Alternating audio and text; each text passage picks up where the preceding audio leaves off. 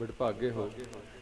ਖਾਲਸਾ ਪੰਥ ਵਿੱਚ ਅੱਜ ਦਾ ਅਹਿਮ ਦਿਨ ਹੈ, ਜਿੱਦਣ ਸ੍ਰੀ ਗੁਰੂ ਗ੍ਰੰਥ ਸਾਹਿਬ ਜੀ ਨੂੰ ਗੱਦੀ ਤੇ ਸਥਾਪਨ ਕਰਕੇ ਗੁਰੂ ਗੋਬਿੰਦ ਸਿੰਘ ਸਾਹਿਬ ਨੇ ਸਾਰੀ ਕੌਮ ਨੂੰ ਇਹਨਾਂ ਦੇ ਲੜ ਲਾ ਕੇ ਆਪਣੀ ਜ਼ਿੰਮੇਵਾਰੀ ਨਿਭਾਈ।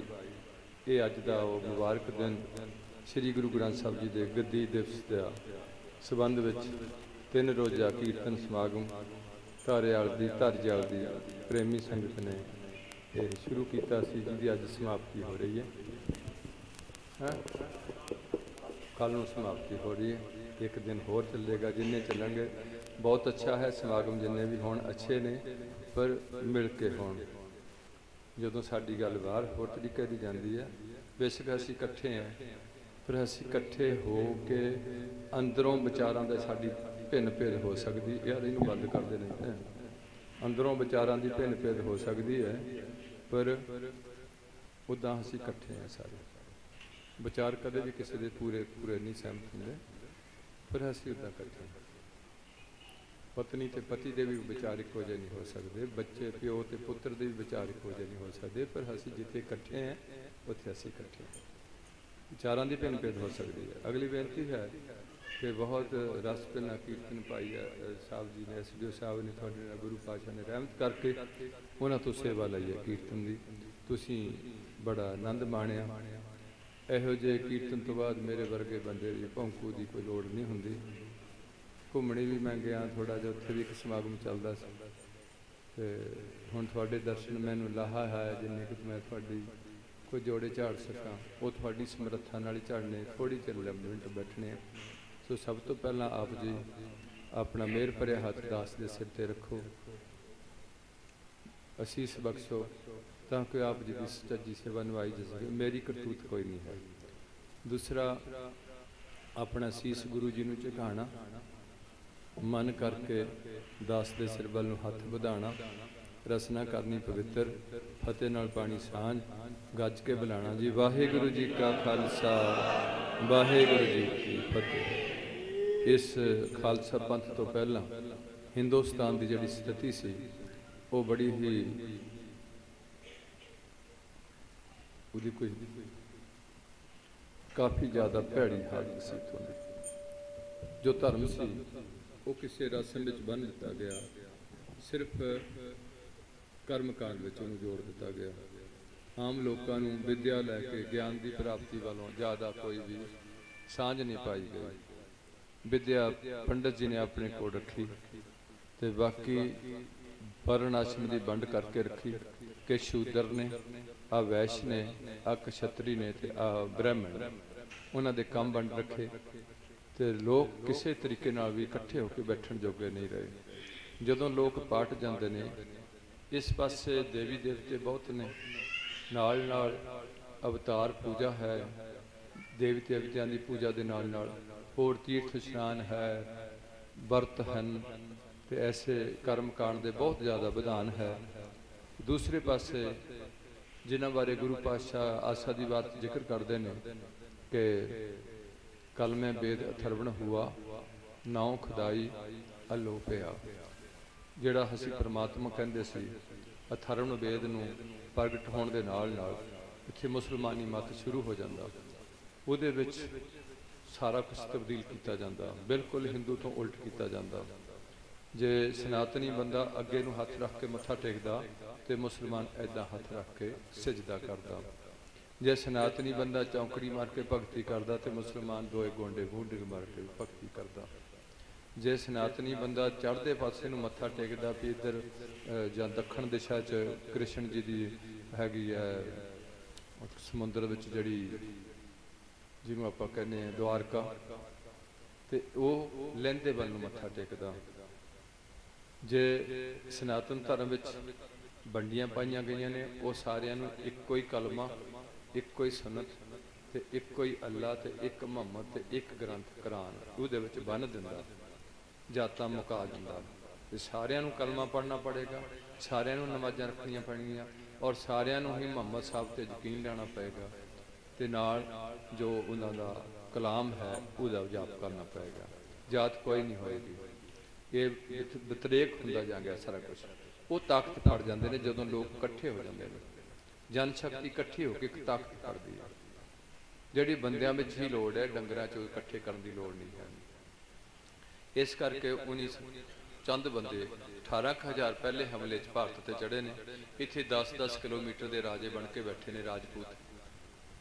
ਐਸ਼ੋ ਇਸ਼ਰ ਦਾ ਜੀਵਨ ਬਤੀਤ ਕਰਦੇ ਨੇ ਰਾਣੀਆਂ ਰੱਖਦੇ ਨੇ ਹੋਰ ਕਾਫੀ ਕੁਝ ਕਰਦੇ ਨੇ ਇਦਾਂ ਦੇ ਕੰਮ ਕਰਦੇ ਨੇ ਤੇ ਜਦੋਂ ਵੀ ਬੰਦਾ ਐਸ਼ੋ ਇਸ਼ਰ ਤੇ ਜਾਂਦਾ ਜਾਂ ਨਸ਼ਿਆਂ ਦਾ ਸੇਵਨ ਕਰਦਾ ਉਹ اخلاقی ਤੌਰ ਤੇ ਬੰਦਾ ਡਿੱਗ ਪੈਂਦਾ ਉਹਦਾ ਮੋਰਲ ਜੀਵਨ ਖਤਮ ਹੋ ਜਾਂਦਾ ਤੇ ਇਹ ਲੜਨ ਜੋਗੇ ਨਾ ਰਹੇ ਉਹ 18000 ਇਕੱਠੇ ਆਏ ਇਹ ਥੋੜੇ ਥੋੜੇ ਬੰਦੇ ਥੋੜਾ ਜਿਹਾ ਝਟਕਾ ਖਾਦਾ ਉਹਨਾਂ ਨੂੰ ਡੰਨ ਦਿੱਤਾ ਵੀ ਤੁਸੀਂ ਐਨੇ ਪੈਸੇ ਲੈ ਲਓ ਤੇ ਅਸੀਂ ਤੁਹਾਡੀ ਜੋ ਕਹੋਗੇ, ਸਾਨੂੰ ਮਾੜਾ ਮੋਟਾ ਰਹਿਣ ਦਿਓ, ਮਾੜਾ ਮੋਟਾ, ਤੇ ਕੋਈ ਤੁਹਾਨੂੰ ਕੁੜੀ ਵੀ ਚੰਗੀ ਦੇ ਦੇਵਾਂਗੇ, ਤੁਸੀਂ ਅੱਗੇ ਵੱਧ ਜਾਓ। ਅੱਗੇ ਵਧਾ ਦੇ ਤਕਰੀਬਨ ਉਹਨੇ ਸਾਰੇ ਹਿੰਦੁਸਤਾਨ ਤੇ ਕੀ ਕਰ ਲਿਆ? ਰਾਜ ਕਰ ਲਿਆ। ਰਾਜ ਕਰਕੇ ਫਿਰ ਉਹਨੇ ਆਪਣੇ ਧਰਮ ਨੂੰ ਇੱਥੇ ਤਕੜੇ ਹੋ ਕੇ ਇਹਨੂੰ ਲਾਗੂ ਕਰਨ ਦਾ ਯਤਨ ਕੀਤਾ। ਮੰਦਰ ਢਾਣੇ ਸ਼ੁਰੂ ਕੀਤੇ। ਨਾਲ ਨਾਲ ਕਲਮੇ ਪੜਾ ਕੇ ਸੁਨਤਾਂ ਕਰਾ ਕੇ ਬੰਦਿਆਂ ਨੂੰ ਇਸਲਾਮ ਵਿੱਚ ਜਿੰਨੇ ਉਹਨਾਂ ਦੇ ਪੀਰ ਫਕੀਰ ਹੋਏ, ਉਹਨੇ ਵੀ ਇਹੋ ਜਿਹਾ ਯਤਨ ਕੀਤਾ ਕਿ ਇਸਲਾਮ ਦਾ ਪ੍ਰਚਾਰ ਹੋਏ। ਕਿਉਂਕਿ ਮੁਹੰਮਦ ਸਾਹਿਬ ਕਹਿ ਗਏ ਸਨ ਕਿ ਉਹਨਾਂ ਦੀ ਸੋਚ ਅਨਸਾਰ ਆਖਰੀ ਪੈਗੰਬਰ ਜਿਹੜਾ ਮੁਹੰਮਦ ਹੈ, ਇਹ ਤੋਂ ਬਿਨਾ ਹੋਰ ਕੋਈ ਪੈਗੰਬਰ ਨਹੀਂ ਹੋਏਗਾ। ਕਿਉਂਕਿ ਉਹਨਾਂ ਦੇ ਪਹਿਲੇ ਜਿਹੜੇ ਨੇ, ਉਹ ਤਿੰਨ ਪੈਗੰਬਰ ਨੇ ਹੈ। ਈਸਾ ਜੀ ਉਹਨਾਂ ਦਾ ਪਹਿਲਾ ਹੋਇਆ ਮੁਹੰਮਦ ਤੋਂ, ਮੂਸਾ ਜੀ ਉਹ ਤੋਂ ਪਹਿਲਾਂ ਹੋਏ ਨੇ। ਇੱਕ ਸ਼ਾਇਦ ਹੋਰ ਉਹਨਾਂ ਦਾ ਕੋਈ ਪਾਰਸੀ ਮੈਂ ਉਹਨਾਂ ਨੂੰ ਜਾਣਦਾ, ਮੇਰਾ ਕੋਈ ਮੇਰਾ ਧਰਮ ਦਾ ਵਿਸ਼ਾ ਨਹੀਂ ਹੈ, ਨਾ ਮੈਂ ਕੋਈ ਲੈਕਚਰ ਆ ਰਹਾ ਨਾ ਮੈਂ ਕੋਈ ਬਹੁਤਾ ਕੋਈ ਸੰਤ ਮਹਾਤਮਾ ਹੈ। ਮੈਂ ਤਾਂ ਸਿਰਫ ਤੁਹਾਨੂੰ ਖਾਲਸਾ ਪੰਥ ਦੀ ਛੋਟੀ ਜਿਹੀ ਇੱਕ ਸਨੇਹ ਦੇਣ ਵਾਸਤਾ ਅਸੀਂ ਇਕੱਤਰ ਹੁੰਨੇ ਆ ਕਿ ਜਿੰਨੇ ਕ ਅਸੀਂ ਹੈ, ਅਸੀਂ ਉਨੇ ਕੁ ਵੀ ਇਕੱਠੇ ਰਹੀਏ ਤੇ ਸਾਡੀ ਗੁਰੂ ਪਾਤਸ਼ਾਹ ਦਾ ਰਹਿਮਤ ਹੋਏ। ਬਹੁਤ ਵੱਡਾ ਤੁਹਾਡਾ ਅਵਤਾਰ ਹੈ। ਸਾਰੇ ਅਵਤਾਰ ਆਪ ਆਪਣੀ ਥਾਂ ਵੱਡੇ ਨੇ। ਜਿੱਦਾਂ ਦੇ ਸਮੇਂ ਅਨਸਾਰ ਕਿਸੇ ਨੂੰ ਭੇਜਣਾ, ਉਦਾਂ ਦਾ ਪ੍ਰਮਾਤਮਾ ਸਾਰਾ ਭੇਜਦਾ। ਤੇ ਇਸ ਤਰੀਕੇ ਨਾਲ ਹੌਲੀ ਹੌਲੀ ਇਹ ਗੱਲ ਜਿਹੜੀ ਚੱਲਦੀ ਹੈ, ਇੱਥੇ ਫਿਰ ਗੁਰੂ ਨਾਨਕ ਪਾਤਸ਼ਾਹ ਆਉਂਦੇ ਨੇ। ਜਿਹਦੇ ਬਾਰੇ ਭਾਈ ਗੁਰਦਾਸ ਜੀ ਕਹਿੰਦੇ ਨੇ ਕਿ ਨਾਨ, ਸਤਗੁਰ ਨਾਨਕ ਪ੍ਰਗਟਿਆ, ਮਿੱਟੀ ਧੁੰਦ, ਜਿਹੜੀ ਅਗਿਆਨਤਾ ਦੀ ਧੁੰਦ ਸੀ। ਲੋਕਾਂ 'ਚ ਜਿਹੜਾ ਜਾਤ ਬਰਮ ਦਾ ਫ਼ਰਕ ਸੀ, ਜਿਹੜਾ ਲੋਕਾਂ 'ਚ ਪੂਜਾ, ਪ੍ਰਤਿਸ਼ਠਾ ਦਾ ਭਿੰਨ ਭਿੰਨ ਭੇਦ ਸਨ, ਉਹ ਸਾਰੀ ਮਿਟਾਉਣ ਦਾ ਗੁਰੂ ਨਾਨਕ ਨੇ ਯਤਨ ਕੀਤਾ। ਯਤਨ ਕਰਕੇ ਉਹਦੇ 'ਚ ਮੇਨ ਪੁਆਇੰਟ ਹੈ ਕਿ ਗੁਰੂ ਨਾਨਕ ਨੇ ਨੀਵੀਆਂ ਜਾਤਾਂ ਨੂੰ ਚੁੱਕਣ ਦਾ ਬੜਾ ਸਤੋੜ ਯਤਨ ਕੀਤਾ। ਸਾਰੀ ਬਾਟ ਜੇ ਸਭ ਤੋਂ ਜ਼ਿਆਦਾ ਉਹਨਾਂ ਦੇ ਸਾਥੀ ਰਹੇ ਤੇ ਮਰਦਾਨਾ ਜੀ ਰਹੇ। ਤੇ ਤੁਸੀਂ ਹਜੇ ਤੱਕ ਵੀ ਤੁਹਾਡੇ ਚ ਚਾਹੇ ਮਰਾਸੀ ਨੂੰ ਸਭ ਤੋਂ ਘਟੀਆ ਕਿਸਮ ਦਾ ਅਕਬਾਲ ਕੀਤਾ ਜਾਂਦਾ ਵੀ ਮਰਾਸੀ ਮਤਲਬ ਇੱਕ ਨਕਾਰੀ ਕੌਮ ਹੈ ਇਹਦਾ ਕੋਈ, ਇਹ ਸਿਰਫ ਹਿੰਦੁਸਤਾਨ 'ਚ ਸਾਰਾ ਕੁਝ ਇਸ ਕਰਕੇ ਉਹ ਬੰਦੇ ਦੇ ਨਾਲ ਖਾਣਾ, ਉਹਦੇ ਨਾਲ ਤੁਰਨਾ ਫਿਰਨਾ, ਇਹ ਸਾਂਝੀ ਵਾਲਤਾ ਦਾ ਇੱਕ ਸੰਦੇਸ਼ ਹੈ। ਔਰ ਖਾਲਸਾ ਪੰਥ ਜਿਹੜਾ ਲੰਗਰ ਪਰ ਤੁਸੀਂ ਤੋਰੀ ਹੈ ਇਹ ਵੀ ਗੁਰੂ ਪਾਸ਼ਾ ਨੇ ਇਸ ਕਰਕੇ ਤੋਰੀ ਹੋਈ ਹੈ ਕਿ ਗਰੀਬ, ਅਮੀਰ, ਊਚ, ਨੀਚ, ਕਾਲੇ, ਗੋਰੇ ਜਾਤੀ ਵਰਣ ਤੋਂ ਉੱਪਰ ਉੱਠ ਕੇ ਸਾਰੇ ਇੱਕੋ ਜਿਹਾ ਖਾਣਾ ਲਓ, ਇੱਕੋ ਥਾਂ ਤੇ ਬੈਠ ਕੇ ਤੁਹਾਡੇ 'ਚ ਪ੍ਰੇਮ ਭਾਵਨਾ ਦਾ ਵੱਧਾ ਹੋਏ। ਵਾਧਾ ਪਏ ਤੇ ਤੁਸੀਂ ਇਕੱਠੀ ਸ਼ਕਤੀ ਪੈਦਾ ਕਰੋ। ਇਸੇ ਲੜੀ ਵਿੱਚ ਤੁਹਾਡੇ ਨਾਮ ਅਗਰੋ ਸਿੰਘ ਤੇ ਕੌਰ ਲਾਏ ਗਏ ਵੀ ਤੁਸੀਂ ਇਕੱਠੇ ਹੋ ਜਾਓ। ਇਸੇ ਲੜੀ ਵਿੱਚ ਤੁਹਾਨੂੰ ਵੀ ਇੱਕ ਗ੍ਰੰਥ ਦਿੱਤਾ ਗਿਆ, ਜਿਹਦਾ ਅੱਜ ਹੈਗਾ ਗੁਰਗੱਦੀ ਦਿਵਸ, ਸ੍ਰੀ ਗੁਰੂ ਗ੍ਰੰਥ ਸਾਹਿਬ। ਇੱਕ ਪੈਗੰਬਰ ਦੀ ਬਜਾਏ ਤੁਹਾਨੂੰ ਇੱਕ ਕਾਲ ਪੁਰਖ ਦੀ ਪੂਜਾ ਪ੍ਰਤਿਸ਼ਠਾ ਕਰ ਦਿੱਤੀ। ਦੇਹਧਾਰੀ ਪ੍ਰਥਾ ਵਿੱਚੋਂ ਤੁਹਾਨੂੰ ਕੱਢ ਕੇ ਸ਼ਬਦ ਨਾਲ ਜੋੜਨ ਦਾ ਯਤਨ ਕੀਤਾ ਗਿਆ। ਜਾਤੀਵਾਦ ਤੋਂ ਉੱਪਰ ਉਠਾ ਕੇ ਸਾਂਝੀ ਵਾਲਤਾ ਦੀ ਤੁਹਾਡੇ ਨਾਲ ਗੁਰੂ ਨਾਨਕ ਪਾਤਸ਼ਾਹ ਨੇ ਗੱਲ ਕੀਤੀ। ਔਰ ਤੁਸੀਂ ਵਡਭਾਗੇ ਹੋ ਕਿ ਪਹਿਲਾ ਇਹ ਬਲਦ ਚ ਗ੍ਰੰਥ ਹੈ, ਜਿਹੜਾ ਗੁਰਮੁਖੀ ਚ ਲਿਖਿਆ ਜਾ ਰਿਹਾ।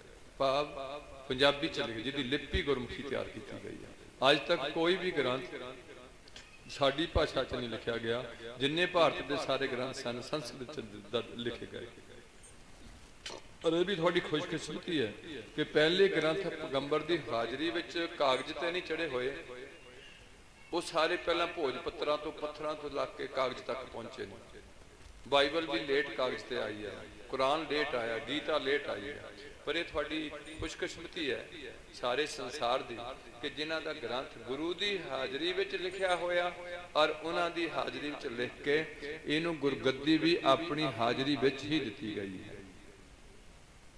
ਔਰ ਇਹਦੇ ਵਿੱਚ ਭਗਤ ਰਵਿਦਾਸ ਜੀ ਤੋਂ ਲੈ ਕੇ ਕਬੀਰ ਜੀ ਜਲਾਏ ਜਿਹੜੇ ਜਿਨ੍ਹਾਂ ਨੂੰ ਤੰਗ ਕੀਤਾ ਗਿਆ, ਹਜੇ ਵੀ ਗੁਜਰਾਤ ਵਿੱਚ ਮੰਦਰ ਵਿੱਚ ਕੋਈ ਵੀ ਦਲਤ ਨਹੀਂ ਜਾ ਸਕਦਾ, ਹੁਣ ਫਿਰ ਹੰਗਾਮਾ ਹੋ ਗਿਆ ਹਜੇ ਵੀ ਮੱਕੇ ਵਿੱਚ ਕੋਈ ਵੀ ਗੈਰ ਮੁਸਲਮਾਨ ਨਹੀਂ ਜਾ ਸਕਦਾ, ਪਰ ਐਸਾ ਮੰਦਿਰ ਤਿਆਰ ਕੀਤਾ, ਐਸਾ ਤੁਹਾਡਾ ਗੁਰਦੁਆਰਾ ਤਿਆਰ ਕੀਤਾ, ਜਿੱਥੇ ਹਰ ਵਰਣ ਦਾ ਬੰਦਾ ਹਰ ਟਾਈਮ ਆ ਸਕਦਾ, ਗੁਰੂ ਕੀ ਬਾਣੀ ਸੁਣ ਸਕਦਾ, ਲੰਗਰ ਛਕ ਸਕਦਾ, ਸਿਰਫ ਦੋ ਸ਼ਰਤਾਂ ਦੇ ਦੇਣ ਕੇ ਸਿਰ ਢੱਕਿਆ ਹੋਣਾ ਚਾਹੀਦਾ ਔਰ ਨਾਲ ਨਸ਼ਾ ਨਹੀਂ ਹੋਣਾ ਚਾਹੀਦਾ, ਇਹ ਦੋ ਸ਼ਰਤਾਂ ਦੇ ਦੇਣ ਔਰ ਹੋਰ ਬੜੀ ਖੁਸ਼ਕਿਸਮਤੀ ਹੈ ਕਿ ਤੁਹਾਨੂੰ ਸਰਦਾਰੀ ਦਿੱਤੀ ਹੈ। ਕੋਈ ਵੀ ਜਾਤ ਨਾਲ ਬੰਦਾ ਸੰਬੰਧ ਰੱਖਦਾ, ਜਿਹੜਾ ਬੰਦਾ, ਮੈਂ ਇੱਕ ਕੱਲ ਵੀ ਇੱਕ ਨਾ ਕਿਸੇ ਨਾਲ ਗੱਲ ਕਰਨ ਰਿਹਾ ਸੀ ਕਿ ਰਵਿੰਦਰਨਾਥ ਟੈਗੋਰ 13ਵਾਂ 14ਵਾਂ ਬੱਚਾ ਮਾਂ ਪਿਓ ਦਾ ਤੇ ਉਹਨੂੰ ਗੁਰੂ ਅਕਾਲ ਪੁਰਖ ਵਾਹਿਗੁਰੂ ਨਾਲ ਕਿਸੇ 'ਚ ਵਰਤਣਾ ਹੁੰਦਾ, ਉਹਦਾ ਜਦੋਂ ਵਰਤਦੇ ਨੇ ਤੇ ਰਵਿੰਦਰਨਾਥ ਟੈਗੋਰ ਆਪਣੇ ਕੇਸਾਂ ਦੀ ਬੇਅਦਬੀ ਕਰਦਾ ਸੀ। ਕਿ ਕੇਸਾਂ ਦੀ ਬੇਅਦਬੀ ਕਰਦਾ ਸੀ ਤੇ ਉਹ ਜਦੋਂ ਕੇਸਾਂ ਦੀ ਬੇਅਦਬੀ ਕਰਦਾ ਸੀ ਤੇ ਇੱਕ ਵਾਰ ਦੱਸਦੇ ਨੇ ਸਮੁੰਦਰ ਵਿੱਚ ਜਾ ਰਿਹਾ ਸੀ। ਸਮੁੰਦਰ ਸਫ਼ਰ ਕਰ ਰਿਹਾ ਸੀ, ਸਮੁੰਦਰੀ ਜਹਾਜ਼ ਰਾਹੀਂ। ਉਹਦੀ ਅੱਖ ਲੱਗ ਗਈ। ਅੱਖ ਲੱਗਦੇ ਸਾਰ ਉਹਨੇ ਫਰਿਸ਼ਤਾ ਫਰਿਸ਼ਤਾ ਸੀ ਮੰਨਦੇ ਜਿਹਦੇ ਚਿੱਟੇ ਕੱਪੜੇ ਹੋਣ। ਫਰਿਸ਼ਤਾ ਉਹਨੂੰ ਕਿ ਨਜ਼ਰ ਆਉਂਦਾ। ਉਹ ਪੁੱਛਦਾ ਉਹਨੂੰ ਆ ਕੇ, ਐ ਟਗੋਰ, ਤੁਝੇ ਸ਼ਾਂਤੀ ਕੀ ਤਲਾਸ਼ ਹੈ? ਤੂੰ ਸ਼ਾਂਤੀ ਮੰਗਦਾ? ਮੈਂ ਸ਼ਾਂਤੀ ਚਾਹਨਾ ਅੰਦਰ ਵਿੱਚ ਸ਼ਾਂਤੀ ਚਾਹਨਾ ਤੇ ਪ੍ਰਮਾਤਮਾ ਦੀ ਬਣਾਈ ਹੋਈ ਸ਼ਕਲ ਨੂੰ ਆਪਣੀ ਮਰਜ਼ੀ ਨਾਲ ਕਿਉਂ ਭੰਨ ਤੋੜ ਕਰ ਰਿਹਾ? ਦੱਸਦੇ ਨੇ ਟਗੋਰ ਉਦੋਂ ਹੀ ਉੱਠ ਖੜਦੇ ਨੇ। ਉੱਠ ਕੇ ਉਹਨੇ ਸਭ ਤੋਂ ਪਹਿਲਾਂ ਕੰਮ ਇਹ ਕੀਤਾ, ਜਿਹੜਾ ਸੇਫਟੀ ਵਾਲਾ ਡੱਬਾ ਆਪਣੇ ਕੋਲ ਚੁੱਕਿਆ ਸੀ ਉਹ ਕਾਦੇ ਸੁੱਟ ਦਿੱਤਾ, ਸਮੁੰਦਰ ਸੁੱਟ ਅੱਜ ਤੁਸੀਂ ਉਹਨਾਂ ਦੀ ਸ਼ਕਲ ਦੇਖੋਗੇ, ਉਹਨਾਂ ਦੇ ਕੰਘਰਾਲੇ ਵਾਲ ਹੋਣਗੇ ਤੇ ਉਹਨਾਂ ਦਾ ਦਾੜਾ ਪੂਰਾ ਹੋ ਗਿਆ ਤੇ ਮਿਸ਼ਾਰੇ ਪੂਰੇ ਜੇ ਤੁਸੀਂ ਉਹਦੀ ਸ਼ਕਲ ਦੇਖੋਗੇ ਜਿਹੜਾ ਰਜਨੀਸ਼ ਹੈ, ਉਹਨਾਂ ਵੀ ਸ਼ਕਲ ਬਦਲ ਰਵਿਦਾਸ ਦੀ ਦੇਖੋਗੇ, ਈਸਾ ਜੀ ਦੀ ਦੇਖੋਗੇ, ਇਹ ਸ਼ਕਲ ਕਬੀਰ ਦੀ ਦੇਖੋਗੇ। ਇਹ ਜਿਨੀ ਪ੍ਰਮਾਤਮਾ ਦੀ ਭਗਤੀ ਕਰਨੀ ਹੈ, ਜਦੋਂ ਪ੍ਰਮਾਤਮਾ ਦੀ ਬਣਾਈ ਹੋਈ ਸ਼ਕਲ ਨੂੰ ਹੀ ਨਹੀਂ ਪਸੰਦ ਕਰਦਾ, ਤੇ ਉਹ ਪ੍ਰਮਾਤਮਾ ਉਹਨੂੰ ਕਿਵੇਂ ਪਸੰਦ ਕਰੂਗਾ? ਇਹ ਤੁਹਾਨੂੰ ਸਰਦਾਰੀ ਬਖਸ਼ ਦਿੱਤੀ, ਤੁਹਾਡੀ ਦਸਤਾਰ ਅਹਿਮੀਅਤ ਰੱਖ ਦਿੱਤੀ ਤਾਂ ਕਿ ਹਰ ਟਾਈਮ ਸਿੱਖ ਦਾ ਸਿਰ ਜਿਹੜਾ, ਉਹ ਸੇਫ ਰਹੇ, ਸਰਦੀ ਗਰਮੀ ਤੋਂ ਸੇਫ ਰਹੇ, ਸੱਟ ਚੋਟ ਤੋਂ ਸੇਫ ਰਹੇ, ਸਿਰ ਅਹਿਮ ਚੀਜ਼ ਹੈ ਬਾਡੀ ਦੀ।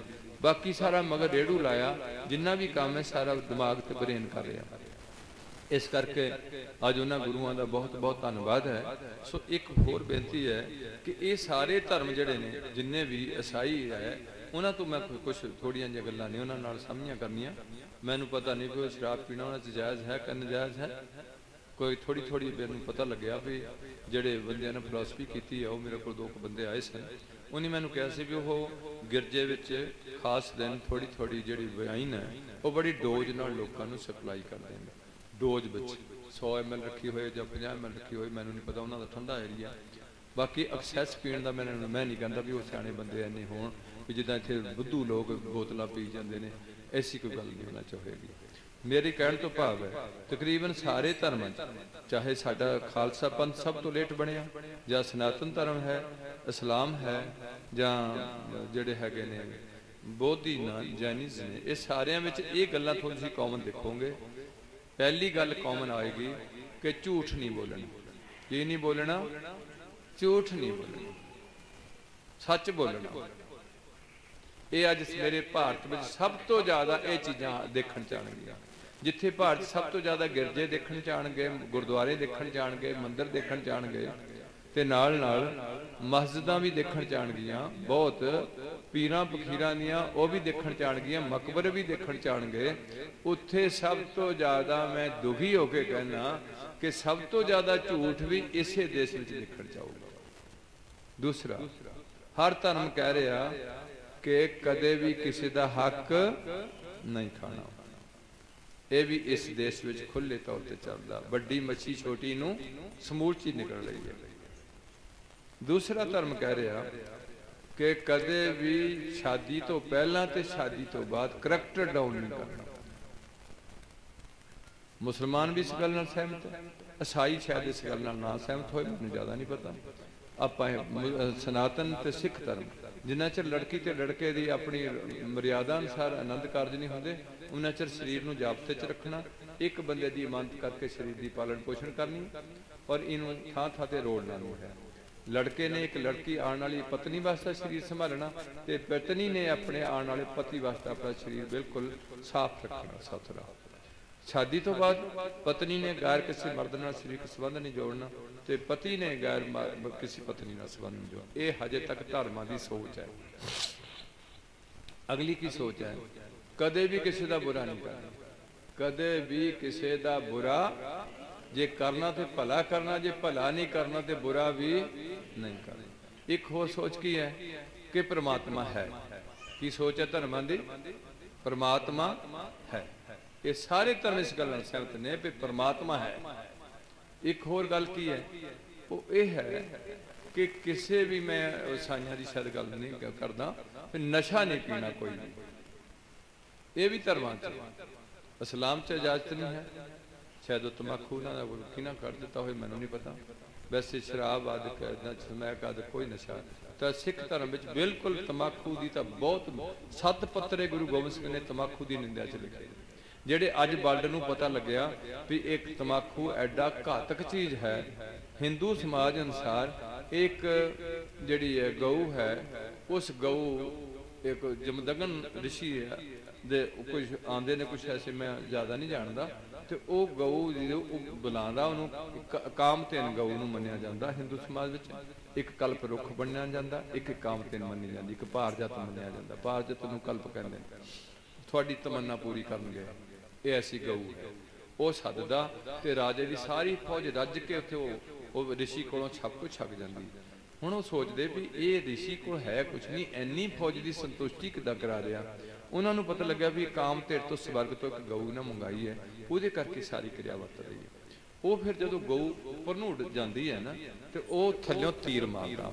ਉਹ ਤੀਰ ਮਾਰਦਾ ਤੇ ਗਊ ਦਾ ਜਿਹੜਾ ਖੂਨ ਡਿੱਗਦਾ ਨਾ, ਉਹਦੇ ਚੋਂ ਤਮਾਕੂ ਦੀ ਬੂਟੀ ਪੈਦਾ ਹੁੰਦੀ ਹੈ। ਉਹਨਾਂ ਦੇ 6 ਸ਼ਾਸਤਰ ਨੇ 18 ਪੁਰਾਣ ਨੇ 27 ਸਿਮਰਤੀਆਂ ਨੇ, ਉਪਨਿਸ਼ਦਾਂ ਨੇ, ਚਾਰ ਵੇਦ ਨੇ, ਇਹ ਧਰਮ ਨਾਲ ਜੁੜੀਆਂ ਹੋਈਆਂ ਗੱਲਾਂ ਨੇ। ਹੁਣ ਮੇਰਾ ਮੇਨ ਮਕਸਦ ਜਿਹੜਾ ਇਹ ਆਏਗਾ ਵੀ ਜਦੋਂ ਇਹ ਧਰਮ ਸਾਰੇ ਕਿਛ ਕਹਿ ਰਹੇ ਨੇ, ਬਾਕੀ ਵਿਦਿਆ ਹੈ। ਪਹਿਲੀ ਤੋਂ ਲੈ ਕੇ ਪੀ ਐਚ ਡੀ ਤੱਕ ਜਿੰਨੀ ਭਾਰਤ ਦੀ ਵਿੱਦਿਆ ਹੈ, ਉਸ ਵਿੱਦਿਆ ਵਿੱਚ ਇਹਨਾਂ ਕਿਸੇ ਵੀ ਚੀਜ਼ ਦੀ ਅਲਾਉਡ ਨਹੀਂ ਹੈ।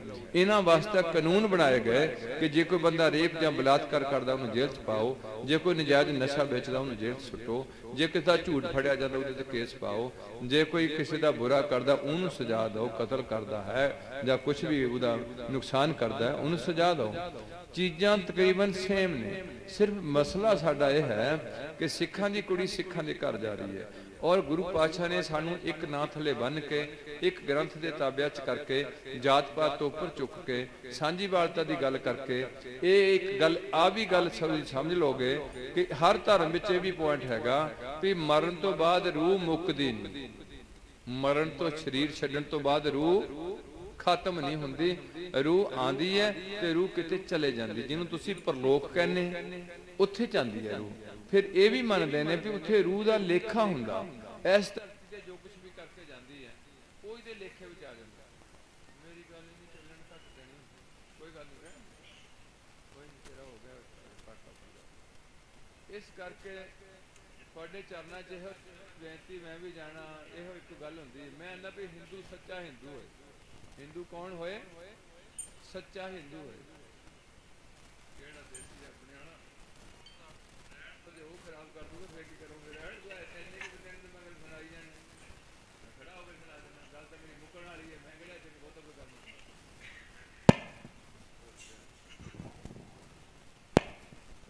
ਹਾਂ ਨਹੀਂ ਬੋਲਦਾ ਐਦਾਂ ਨਹੀਂ ਬੋਲਦਾ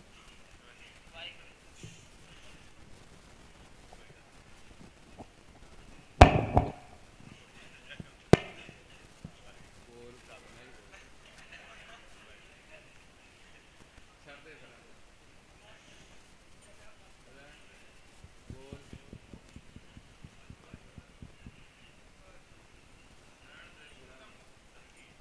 ਮੈਂ ਆਪਣੇ ਮੁਕਾਬਲੇ ਨਾਲ ਕੰਮ ਵਾਹਿਗੁਰੂ ਆ ਬਹੁਤੇ ਪਟਾਕੇ ਨਾ ਮਾਰਾਈ ਤਾਂ ਉਹਦੀ ਸਾਡਾ ਦਿਲ ਥੋੜਾ ਹੁੰਦਾ। ਆ ਗਈ ਬੱਤੀ, ਆ ਗਈ। ਇਹ ਇੰਟਰਵਲ ਕੀਤਾ ਤੁਹਾਡਾ ਥੋੜਾ ਜਿਹਾ ਇੰਟਰਵਲ ਹੁੰਦਾ ਵੀ ਥੋੜੀ ਰੈਸਟ ਤੁਹਾਨੂੰ ਹੱਸ ਹੱਸ ਲਓ ਪਰ ਗੱਲਾਂ ਅੱਜ ਹੱਸਣ ਵਾਲੀਆਂ ਨਹੀਂ ਗੱਲਾਂ ਅੱਜ ਬਹੁਤ ਸੰਜੀਦਗੀ ਵਾਲੀਆਂ ਨੇ। ਨਸ਼ਾ ਇੰਨਾ ਤੁਹਾਡੇ ਸਮਾਜ ਵਿੱਚ ਵੱਧ ਚੁੱਕਿਆ। ਲੜਾਈ ਝਗੜੇ ਇੰਨੇ ਹੋਣਦੇ ਨੇ, ਘਰੋ ਘਰ ਇੱਕ ਪਤਖਾਨਾ ਪਿਆ ਹੋਇਆ ਹੈ।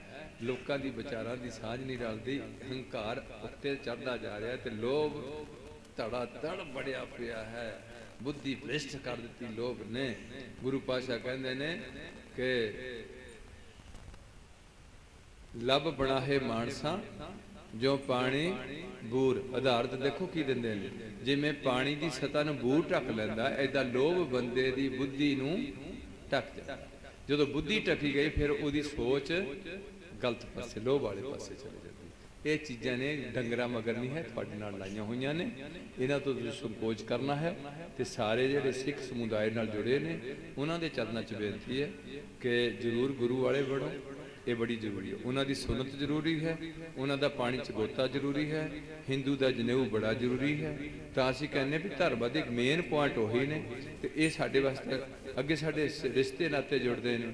ਹੁਣ ਜਦੋਂ ਸਿੱਖਾਂ ਵਿੱਚ ਜਿਹੜੀ ਗਿਰਾਵਟ ਹੈ, ਉਹ ਹਜੇ ਤੱਕ ਇਸ ਪੰਜਾਬ ਵਿੱਚ ਜਿਹੜੇ ਜੱਟ ਭਾਈ ਨੇ, ਉਹਨਾਂ ਦੇ ਦਿਮਾਗ ਵਿੱਚ ਗੱਲ ਬੜੀ ਹੋਈ, ਚਾਹੇ ਸ਼ਰਾਬ ਪੀਂਦੇ ਹੋਣ, ਚਾਹੇ ਕੇਸ ਕੱਟੇ ਹੋਣ, ਵੀ ਅਸੀਂ ਸਿੱਖ ਹੁੰਦੇ ਇਹ ਬਿਲਕੁਲ ਗਲਤ ਗੱਲ ਹੈ। ਜਿਹੜਾ ਵੀ ਗੁਰੂ ਦੀ ਸਿੱਖਿਆ ਲਏਗਾ, ਉਹੀ ਸਿੱਖ ਕਹਾਏਗਾ। ਕਿਸੇ ਦੇ ਜਾਤ ਨਾਲ ਸਿੱਖੀ ਨਹੀਂ ਜੋੜੀ ਹੋਈ। ਕਿਸੇ ਵਿਸ਼ੇਸ਼ ਅਮੀਰੀ ਨਾਲ ਸਿੱਖੀ ਨਹੀਂ ਜੋੜੀ ਹੋਈ। ਅਰੇ ਪਹਿਲਾ ਪੈਗੰਬਰ ਹੈ ਜਿਹਨੂੰ ਗਰੀਬ ਨਮਾਜ਼ ਕਰਕੇ ਜਾਣਿਆ ਜਾਂਦਾ, ਦੁਨੀਆ ਦਾ ਪਹਿਲਾ ਪੈਗੰਬਰ, ਗਰੀਬ ਨਮਾਜ਼ ਅਰੇ ਪਹਿਲਾ ਮਿਸ਼ਨ ਹੈ, ਜਿਹਦਾ ਧਰਮ ਦਾ ਚਿੰਨ ਉੱਤਾ ਰੱਖਿਆ ਗਿਆ, ਉੱਚਾ ਰੱਖਿਆ ਗਿਆ ਔਰ ਇੱਕ ਲੰਗਰ ਦੀ ਪ੍ਰਥਾ ਤੋੜੀ ਗਈ। ਇਹ ਪਹਿਲਾ ਮਿਸ਼ਨ ਹੈ ਦੁਨੀਆ ਵਿੱਚ, ਜਿਹਦਾ ਪ੍ਰਸ਼ਾਦ ਕੜਾ ਪ੍ਰਸ਼ਾਦ ਕਰਕੇ ਜਾਣਿਆ ਜਾਂਦਾ, ਜਿਹਨੂੰ ਬੜੀ ਸ਼ਰਧਾ ਨਾਲ ਤਿਆਰ ਕੀਤਾ ਜਾਂਦਾ, ਤਿੰਨ ਚੀਜ਼ਾਂ ਬਰਾਬਰ ਪਾਈਆਂ ਜਾਂਦੀਆਂ, ਘਿਓ, ਆਟਾ ਤੇ ਮਿੱਠਾ, ਦੇਸੀ ਘਿਓ ਡਾਲਡਾ ਨਹੀਂ, ਇਹ ਤਿੰਨੇ ਚੀਜ਼ਾਂ ਬਰਾਬਰ, ਦੋ ਬਾਣੀਆਂ ਦਾ ਪਾਠ, ਬੜੀ ਸ਼ਰਧਾ ਨਾਲ ਤਿਆਰ ਕਰਕੇ ਇਹਨੂੰ ਕਦੇ ਵੀ ਨੀਵੇਂ ਥਾਂ ਨਹੀਂ ਰੱਖਿਆ ਜਾਂਦਾ, ਇਹਨੂੰ ਉੱਚੇ ਥਾਂ ਤੇ ਰੱਖਿਆ ਜਾਂਦਾ। ਔਰ ਤੁਹਾਡੇ 'ਚ ਇਹ ਵੀ ਵਿਸ਼ੇਸ਼ਤਾ ਹੀ ਹੈ ਸਨਾਤਨ ਧਰਮ ਨਾਲੋਂ, ਤੁਸੀਂ ਖੁਸ਼ੀ ਵਿੱਚ ਬਹੁਤੇ ਭੰਗੜੇ ਨਹੀਂ ਪਾਣੇ ਬਹੁਤੇ ਕੱਪੜੇ ਵਧੀਆ ਨਹੀਂ ਖੁਸ਼ੀ ਵਿੱਚ ਪਾਣੇ ਰੋਜ਼ ਰੁਟੀਨ ਦੀ ਲਾਈਫ ਵਿੱਚ ਚੱਲਣਾ, ਉਹਦੇ ਵਿੱਚ ਖੁਸ਼ੀ ਵਿੱਚ ਬਹੁਤੀ ਖੁਸ਼ੀ ਨਹੀਂ, ਖੁਸ਼ੀ ਵਿੱਚ ਵੀ ਪਾਠ ਪੜ੍ਹਨਾ, ਲੰਗਰ ਲਾਣਾ ਤੇ ਕੀਰਤਨ ਜੇ ਹੋ ਸਕੇ ਕਰਨਾ। ਤੇ ਨਾਲ ਅਰਦਾਸ ਬੇਨਤੀ ਕਰਨੀ ਵੀ ਮਹਾਰਾਜ, ਇਹ ਆਨੰਦ ਕਾਰਜ ਜਿਹੜੇ ਬਖਸ਼ੇ ਨੇ ਚੜ੍ਹਦੀ ਕਲਾ 'ਚ ਅੱਛੇ ਤਰੀਕੇ ਨਾਲ ਹੋ ਜਾਣ ਇੱਜ਼ਤ ਬਾਤ ਨਾਲ, ਕੋਈ ਵਿੱਚ ਮੌਤ ਨਾ ਹੋ ਜੇ ਕਿਉਂਕਿ ਅਸੀਂ ਕੁਝ ਜਾਣਦੇ ਨਹੀਂ ਹੈ। ਇਹ ਅਰਦਾਸ ਕਰਨੀ ਹੈ। ਗਮੀ ਵਿੱਚ ਵੀ ਤੁਸੀਂ ਰੋਣਾ ਪਿੱਟਣਾ ਨਹੀਂ, ਇਹ ਵੀ ਇੱਕ ਤੁਹਾਡੇ ਧਰਮ ਦੀ ਵਿਸ਼ੇਸ਼ ਹੈ। ਗਮੀ ਵਿੱਚ ਵੀ ਕੜਾ ਪ੍ਰਸ਼ਾਦ ਬਣਨਾ ਤੇ ਖੁਸ਼ੀ ਵਿੱਚ ਵੀ ਕੜਾ ਪ੍ਰਸ਼ਾਦ ਬਣਨਾ। ਤੇ ਨਾਲ ਨਾਲ ਗੁਰੂ ਪਾਸ਼ਾ ਰਹਿਮਤ ਕਰਨ ਕਿ ਇਹ ਜਿਹੜੀ ਪੰਜਾਬੀ ਚ ਲਿਖਿਆ, ਇਹ ਵੀ ਤੁਹਾਡੇ ਕੋਲ ਇੱਕ ਵਿਸ਼ੇਸ਼ ਚੀਜ਼ ਹੈ। ਦੂਸਰੀ ਇੱਕ ਵਿਸ਼ੇਸ਼ ਚੀਜ਼ ਹੈ ਕਿ ਇਸਤਰੀ ਵਰਗ ਨੂੰ ਬਰਾਬਰਤਾ ਦਿੱਤੀ ਗਈ ਹੈ। ਹਿੰਦੂ ਧਰਮ ਵਿੱਚ ਇਸਤਰੀ ਨੂੰ ਪੈਰ ਦੀ ਜੁੱਤੀ ਬਣਾ ਕੇ ਰੱਖਣ ਦਾ ਯਤਨ ਕੀਤਾ ਗਿਆ। ਇਸਲਾਮ ਵਿੱਚ ਇਸਤਰੀ ਨੂੰ ਬਿਲਕੁਲ ਕੈਦ ਵਿੱਚ ਰੱਖਣ ਦਾ ਯਤਨ ਕੀਤਾ ਗਿਆ। ਸਿੱਖ ਧਰਮ ਵਿੱਚ ਇਹਨਾਂ ਦੇ ਭੁੰਡ ਚਕਾਇਆ ਗਿਆ, ਪਰ ਸਿਰ ਨੰਗਾ ਕਰਾਇਆ ਨਹੀਂ ਗਿਆ। ਇਹ ਇੱਕ ਬੜੀ ਅਜੀਬ ਗੱਲ ਸੀ, ਜਿਹੜੀ ਇਸਤਰੀ ਵਰਗ ਨੂੰ ਬਰਾਬਰਤਾ ਦੇਣੀ ਹੈ। ਇਹ ਇਸਲਾਮ ਤੇ ਸਨਾਤਨ ਧਰਮ ਵਿੱਚ ਇਹਨਾਂ ਨੂੰ ਬਰਾਬਰਤਾ ਨਹੀਂ ਦਿੱਤੀ ਗਈ। ਇਹ ਗੁਰੂ ਨਾਨਕ ਨੇ ਬੁਲੰਦ ਆਵਾਜ਼ ਨਾਲ ਇਹਨਾਂ ਨੂੰ ਬਰਾਬਰ ਕਰਨ ਦਾ ਯਤਨ ਕੀਤਾ ਔਰ ਸਿੱਧੇ ਤੌਰ ਤੇ ਗੁਰਬਾਣੀ 'ਚ ਦਰਜ ਕੀਤਾ ਕਿ ਸੋ ਕਿਉ ਮੰਦਾ ਆਖੀਐ, ਜਿਤ ਜੰਮੈ ਰਾਜਾਨ। ਇਸ ਕਰਕੇ ਇਹਨਾਂ ਨੂੰ ਵੀ ਅੱਜ ਇਹ ਗੱਲ ਸਮਝਣ ਦੀ ਲੋੜ ਹੈ ਵੀ ਇਹਨਾਂ ਨੂੰ ਕੌਰ ਬਣਾਇਆ, ਕੌਰ ਮੈਨੇ ਸ਼ਹਿਜ਼ਾਦੀਆਂ ਹੁੰਦੀਆਂ, ਕਮਰ ਨਾਉ ਨਿਹਾਲ ਕਮਰ, ਕੌਰ। ਸ਼ਹਿਜਾਦੀਆਂ ਬਣ ਇਹ ਗਲਤ ਲੜਕੀਆਂ ਦੇ ਅਸ਼ਲੀਲ ਕੱਪੜੇ ਜਾਂ ਉਹਨਾਂ ਦੇ ਗੰਦੇ ਗਾਣੇ ਜਾਂ ਗੰਦੀਆਂ ਮੀਡੀਆ ਵਿੱਚ ਜਾ ਕੇ ਆਪਣੀ ਜ਼ਿੰਦਗੀ ਦੀ ਕੀਮਤੀ ਸਮਾਂ ਬਰਬਾਦ ਨਾ ਕਰਨ। ਇਹਨਾਂ ਦੀ ਕੁੱਖ ਤੋਂ ਜਿਹੜਾ ਬੱਚਾ ਨਿਕਲੇ, ਉਹ ਬੱਚਾ ਇਮਾਨਦਾਰ, ਮਿਹਨਤੀ ਤੇ ਸੱਚਾ ਸੁੱਚਾ ਜੀਵਨ ਵਾਲਾ ਹੋਏ, ਇਹਨਾਂ ਦੀ ਪੱਤ ਨੂੰ ਵਧਾਉਣ ਵਾਲਾ ਹੋਏ, ਨਾ ਕਿ ਇਹਨਾਂ ਨੂੰ ਜੇਲ੍ਹਾਂ 'ਚ ਸਟਾਉਣ ਵਾਲਾ ਹੋਏ। ਇਹ ਕਾਫੀ ਕੁਝ ਹੈ ਜਿਹੜਾ ਅੱਜ ਦੇ ਅਜੋਕੇ ਸਮੇਂ ਵਿੱਚ ਸਾਨੂੰ ਲੋੜ ਹੈ। ਇਹਦੇ ਨਾਲ ਨਾਲ ਗੁਰੂ ਬਾਦਸ਼ਾਹ ਰਹਿਮਤ ਕਰਨ ਤੁਹਾਡੇ ਕੋਲ, ਇਹ ਵੀ ਇੱਕ ਵਿਸ਼ੇਸ਼ ਹੈ ਕਿ ਤੁਹਾਨੂੰ ਹਰ ਇੱਕ ਨੂੰ ਲੋਕ ਸਰਦਾਰ ਕਹਿਣਗੇ। ਸਿਰ ਤੇ ਇੱਕ ਦਸਤਾਰ ਹੈ ਤੁਹਾਡੀ, ਅਹਿਮੀਅਤ ਹੈ ਦਸਤਾਰ ਬੰਦੀ ਤੁਹਾਡੀ ਕੀਤੀ ਜਾਂਦੀ ਹੈ ਤੇ ਤੁਹਾਡੇ ਗੁਰੂ ਪਾਤਸ਼ਾਹ ਪੰਜ ਕੱਕੇ ਤੁਹਾਨੂੰ ਧਾਰਨੀ ਬਣਾਇਆ। ਇਹ ਵੀ ਇੱਕ ਬੜੀ ਅਜੀਬ ਗੱਲ ਹੈ ਕਿ ਹਰ ਬੰਦਾ ਤੇ ਇਸਤਰੀ ਗੁਰੂ ਗੋਬਿੰਦ ਸਿੰਘ ਤੋਂ ਬਾਅਦ ਪੰਜ ਕੱਕੇ ਜ਼ਰੂਰ ਧਾਰਨ ਕਰਨਗੇ, ਜਿਨ੍ਹਾਂ 'ਚ ਕਿਰਪਾਨ, ਇੱਕ ਸੈਲਫ ਪ੍ਰੋਟੈਕਸ਼ਨ ਹੈ ਤੇ ਇਹ ਇੱਕ ਇੱਕ ਸਾਡਾ ਸੁੰਦਰ ਗਹਿਣਾ ਹੈ, ਜਿਹੜਾ ਲੋਹੇ ਨਾਲ ਜੁੜਿਆ ਹੋਇਆ ਹੈ। ਇਹ ਅਸੀਂ ਹਰਕਤ ਤੇ ਕਦੇ ਨਹੀਂ ਚਲਾਵਾਂਗੇ। ਇੱਕ ਪਾਸੇ ਦੀ ਢਾਲ ਵੀ ਹੈ, ਇੱਕ ਪਾਸੇ ਦਾ ਮਜਲੂਮ ਦੀ ਰਾਖੀ ਵਾਸਤੇ ਇਹਨੂੰ ਵਰਤਨ ਦਾ ਸਾਨੂੰ ਹੱਕ ਹੈ। ਪਰ ਅੱਜ ਡੈਮੋਕ੍ਰੇਸੀ ਹੈ, ਲੋਕਤੰਤਰ ਪ੍ਰਣਾਲੀ ਹੈ, ਉੱਥੇ ਅਸੀਂ ਇਹਨੂੰ ਆਪਣੀ ਮਰਜ਼ੀ ਨਾਲ ਬਿਲਕੁਲ ਵਰਤ ਨਹੀਂ ਸਕਦੇ, ਪਰ ਅਸੀਂ ਲਾ ਵੀ ਨਹੀਂ ਸਕਦੇ। ਇਹ ਸਾਨੂੰ ਹੁਕਮ ਹੋ ਚੁੱਕਿਆ ਵਾ ਵੀ ਮੈਂ ਤੁਹਾਨੂੰ ਇਹ ਜਿਹੜੇ ਪੰਜ ਕੱਕੇ ਦਿੱਤੇ ਨੇ, ਇਹ ਮੇਰੀ ਆਪਣੀ ਨਿੱਜੀ ਪਛਾਣ ਹੋਏਗੀ। ਇਸ ਕਰਕੇ ਇਹ ਵੀ ਇੱਕ ਬੜੀ ਚੀਜ਼ ਅਜੀਬ ਚੀਜ਼ ਹੈ ਕਿ ਜਿਹੜਾ ਗੁਰੂ ਪਾਤਸ਼ਾਹ ਨੇ ਸਾਨੂੰ ਕਸ਼ਹਿਰਾ ਦਿੱਤਾ ਜੱਤ ਦਾ ਸੂਚਕ ਬਣਾ ਕੇ ਸਾਨੂੰ ਕੜਾ ਲੋਹੇ ਦਾ ਤਾਂ ਕਿ ਗਰੀਬ ਤੋਂ ਗਰੀਬ ਬੰਦਾ ਇਹਨੂੰ ਪਹਿਨੇ, ਹੱਥ ਕੜੀ ਲਾਏ। ਮੇਰੇ ਮਾੜੇ ਕੰਮਾਂ ਤੋਂ ਮੇਰਾ ਕਦੇ ਹੱਥ ਉਧਰ ਨੂੰ ਨਾ ਉੱਠੇ। ਜਿਹੜਾ ਕਸ਼ਹਿਰਾ ਜੱਤ ਦਾ ਸੂਚਕ ਹੈ, ਕਦੇ ਸਾਡਾ ਨੰਗੇਜ ਬਾਹਰ ਨਹੀਂ ਆ ਸਕਦਾ। ਸਾਡੀ ਲੇਡੀਜ਼ ਵੀ ਕਸ਼ਹਿਰਾ ਰੱਖੇਗੀ।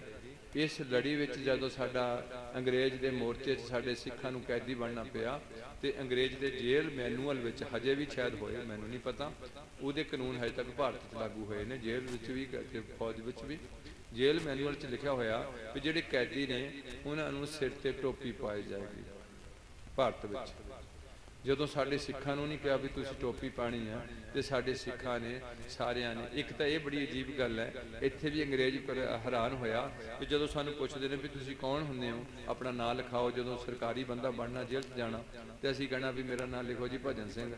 ਭਜਨ ਸਿੰਘ, ਪਿਤਾ ਦਾ ਨਾਂ ਦੱਸ ਕੀ ਹੈ? ਮੇਰਾ ਨਾਂ ਲਿਖੋ ਜੀ ਗੋਬਿੰਦ ਸਿੰਘ। ਤੇ ਪਿੰਡ ਕਿਹੜਾ ਤੇਰਾ ਭਜਨ ਸਿੰਘ? ਮੇਰਾ ਪਿੰਡ ਲਿਖੋ ਜੀ ਅਨੰਦਪੁਰ ਸਾਹਿਬ। ਤੇਰਾ ਨਾਂ ਕੀ ਹੈ? ਮੇਰਾ ਨਾਂ ਲਿਖੋ ਜੀ ਬਲਵਿੰਦਰ ਸਿੰਘ। ਪਿਤਾ ਦਾ ਨਾਂ ਕੀ ਹੈ? ਗੋਬਿੰਦ ਸਿੰਘ। ਤੇ ਪਿੰਡ ਕਿਹੜਾ? ਅਨੰਦਪੁਰ ਸਾਹਿਬ। 100 ਕੈਦੀ ਹੈ ਤੇ 100 ਕੈਦੀ ਦਾ ਪਿਓ ਵੀ ਗੋਬਿੰਦ ਸਿੰਘ ਹੈ। 100 ਕੈਦੀ ਦਾ ਪਿੰਡ ਵੀ। ਇਹ ਵੀ ਤੁਹਾਡੀ ਇੱਕ ਵਿਸ਼ੇਸ਼ ਗੱਲ ਹੈ। ਤੁਹਾਡਾ ਇੱਕ ਪਿੰਡ ਬਣਾਇਆ ਗਿਆ ਅਨੰਦਪੁਰ ਸਾਹਿਬ। ਇੱਕ ਤੁਹਾਡੀ ਬਰਥ ਪਲੇਸ ਬਣਾਈ ਗਈ ਕੇਸਗੜ੍ਹ। ਇੱਕ ਤੁਹਾਡਾ ਧਰਮ ਦਾ ਪਿਓ ਬਣਾਇਆ ਗਿਆ ਗੁਰੂ ਗੋਬਿੰਦ ਸਿੰਘ। ਮਾਂ ਬਣਾਈ ਗਈ ਮਾਤਾ ਸਾਹਿਬ ਕੌਰ ਇੱਥੋਂ ਤੁਸੀਂ ਤਾਂ ਕਿ ਤੁਹਾਡਾ ਭਾਈ ਬੰਦੀ ਦਾ ਪਿਆਰ ਮਜ਼ਬੂਤ ਹੋ ਜਾਵੇ ਇਹ ਵੀ ਵਿਸ਼ੇਸ਼ ਹੈ ਤੁਹਾਡੇ ਕੋਲ ਇਹ ਕਿਸੇ ਕੌਮ ਨਾਲ ਇਹ ਚੀਜ਼ ਨਹੀਂ ਜੁੜੀ ਹੋਈ ਹੈ। ਮਤਲਬ ਤੁਹਾਡਾ ਇੱਕ ਕਿਸਮ ਦਾ, ਜਦੋਂ ਖਾਲਸੇ ਦਾ ਜਨਮ ਦਿਨ ਕਹਿ ਲੋ ਜਾਂ ਉਹਨੂੰ ਉਹਦਾ ਕਹਿ ਲੋ ਸਿਰਜਣਾ ਦਿਵਸ ਕਹਿ ਲੋ ਆਂਦੇ ਖਾਲਸਾ ਜੰਮਦਾ ਨਹੀਂ ਹੈ, ਨਾ ਮਰਦਾ। ਨਹੀਂ, ਗੁਰੂ ਪਾਸ਼ਾ ਕਹਿੰਦੇ ਨੇ, ਸਤਿਗੁਰ ਕੇ ਜਨਮ ਹੈ, ਗਵਨ ਮਟਾਇਆ। ਸਤਿਗੁਰੂ ਦੇ ਘਰ ਵਿੱਚ ਜਨਮ ਲੈਣਾ। ਜਨਮ ਉਹ ਨਹੀਂ, ਮਾਂ ਦੀ ਕੁੱਖ ਤੋਂ ਨਹੀਂ ਲੈਣਾ, ਕਿੱਥੋਂ ਲੈਣਾ? ਸਤਿਗੁਰੂ ਦੇ ਘਰ ਵਿੱਚ ਜਨਮ ਲੈਣਾ। ਤੇ ਉਹ ਵੀ ਤੁਹਾਡੇ ਕੋਲ ਇੱਕ ਵਿਸ਼ੇਸ਼ ਚੀਜ਼ ਹੈ ਕਿ ਤੁਸੀਂ ਇੱਕੋ ਪਿਓ, ਇੱਕ ਮਾਂ, ਇੱਕ ਪਿੰਡ। ਇਹ ਅੰਗਰੇਜ਼ ਹੈਰਾਨ ਹੋ ਜਾਂਦਾ। ਜਦੋਂ ਅੰਗਰੇਜ਼ ਫਿਰ ਸਾਨੂੰ ਕਹਿੰਦਾ ਵੀ ਤੁਹਾਨੂੰ ਟੋਪੀ ਪਾਣੀ ਪਏਗੀ ਜੇਲ੍ਹ ਮੈਨੂੰ ਵਿੱਚ ਤੇ ਸਾਡੇ ਬੰਦੇ ਰੋਟੀ ਛੱਡਦੇ ਨੇ। ਵੀ ਸਾਡਾ ਗੁਰੂ ਕਹਿ ਗਿਆ, ਸਿੱਖ ਹੋਏ, ਮੇਰਾ ਹੋਏ ਸਿੱਖ, ਸਿਰ ਟੋਪੀ ਧਰੇ, ਸਿਰ ਤੇ ਪਾਏ ਟੋਪੀ, ਸਾਤ ਜਨਮ ਕੁਸ਼ਟੀ ਹੋਏ ਮਰੇ, ਸੱਤ ਜਨਮ ਬਾਰ-ਬਾਰ ਲਏਗਾ ਤੇ ਕੋੜ ਪੈ ਪੈ ਕੇ ਮਰੇਗਾ। ਭਾਵ ਸਾਡੀ ਇੱਕ ਦਸਤਾਰ ਤੇ ਦਮਾਲਾ ਆਮ ਸ਼ਾਨ ਦੀ ਸੂਚਕ ਹੈ ਇਹ ਅੰਗਰੇਜ਼ ਨੂੰ ਜਦੋਂ ਅਸੀਂ 15 ਦਿਨ ਰੋਟੀ ਛੱਡੀ, ਫਿਰ ਉਹਨੂੰ ਲਿਖ ਕੇ ਦੇਣਾ ਪਿਆ ਵੀ ਇਹਨਾਂ ਨੂੰ ਮਜਬੂਰ ਨਹੀਂ ਕੀਤਾ ਜਾਏਗਾ ਟੋਪੀ ਲਈ।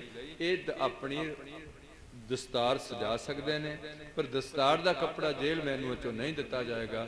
ਇਹ ਆਪਣੀ ਦਸਤਾਰ ਚਾਹੇ ਆਪਣੀ ਕਮੇਟੀ ਤੋਂ ਲੈ ਲੈਣ, ਚਾਹੇ ਆਪਣੇ ਘਰੋਂ ਮੰਗਾ ਲੈਣ। ਇਹਨੂੰ ਹੱਕ ਦਿੱਤਾ ਜਾਂਦਾ ਵੀ ਦਸਤਾਰ ਸਜਾ ਕੇ ਟੋਪੀ ਨਹੀਂ ਪਾਣਗੇ। ਹੱਕ ਮਿਲਿਆ। ਫਿਰ ਸਾਨੂੰ ਕਹਿੰਦਾ ਵੀ ਨਿੱਕਰ ਪਾਓ। ਅੱਜ ਮੇਰੇ ਆਰਐਸਐਸ ਵਾਲਿਆਂ ਨੇ ਵੀ ਹਿੰਦੂਆਂ ਨੇ ਨਿੱਕਰਾਂ ਬੜੀਆਂ ਲਸ਼ਕਾਈਆਂ ਹੋਈਆਂ ਨੇ।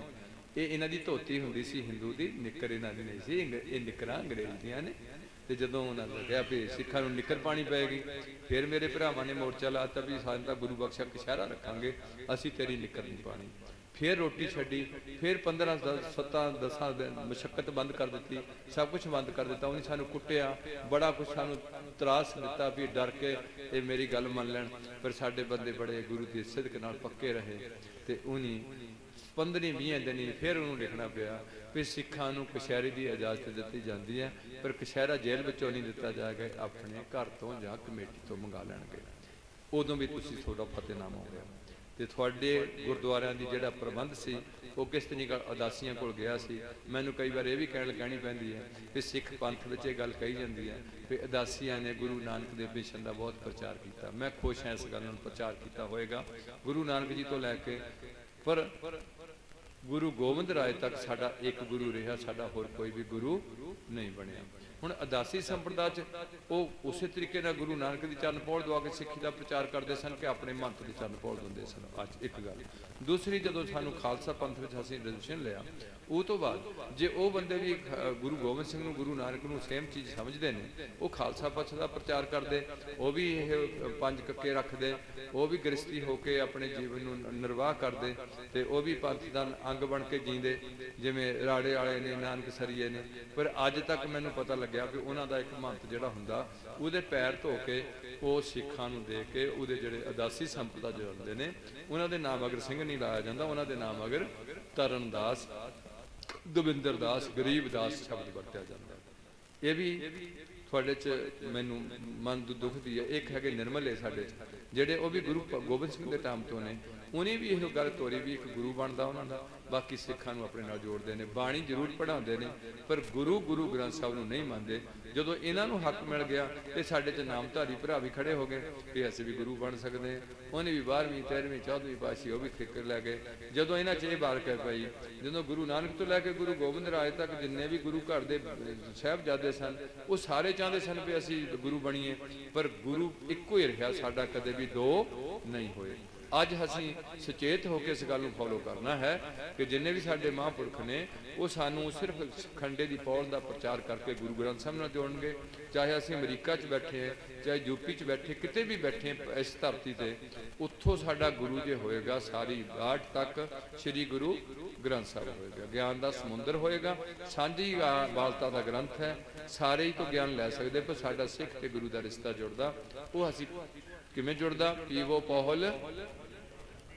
ਉਹਨਾਂ ਦੀ ਸੁਨਨਤ ਉਹਨਾਂ ਦਾ ਜਨੇਊ, ਉਹਨਾਂ ਦਾ ਪਾਣੀ ਚ ਗੋਤਾ, ਸਾਡਾ ਪਹੁੜ ਛਕਣਾ ਪੰਜਾਂ ਪਿਆਰਿਆਂ ਤੋਂ, ਦੋ ਧਰਮ ਪੰਜਾਂ ਪਿਆਰਿਆਂ ਤੋਂ, ਪੰਜਾਂ ਤੋਂ ਬੰਦਿਆਂ ਤੋਂ ਤੋਰੇ ਗਏ।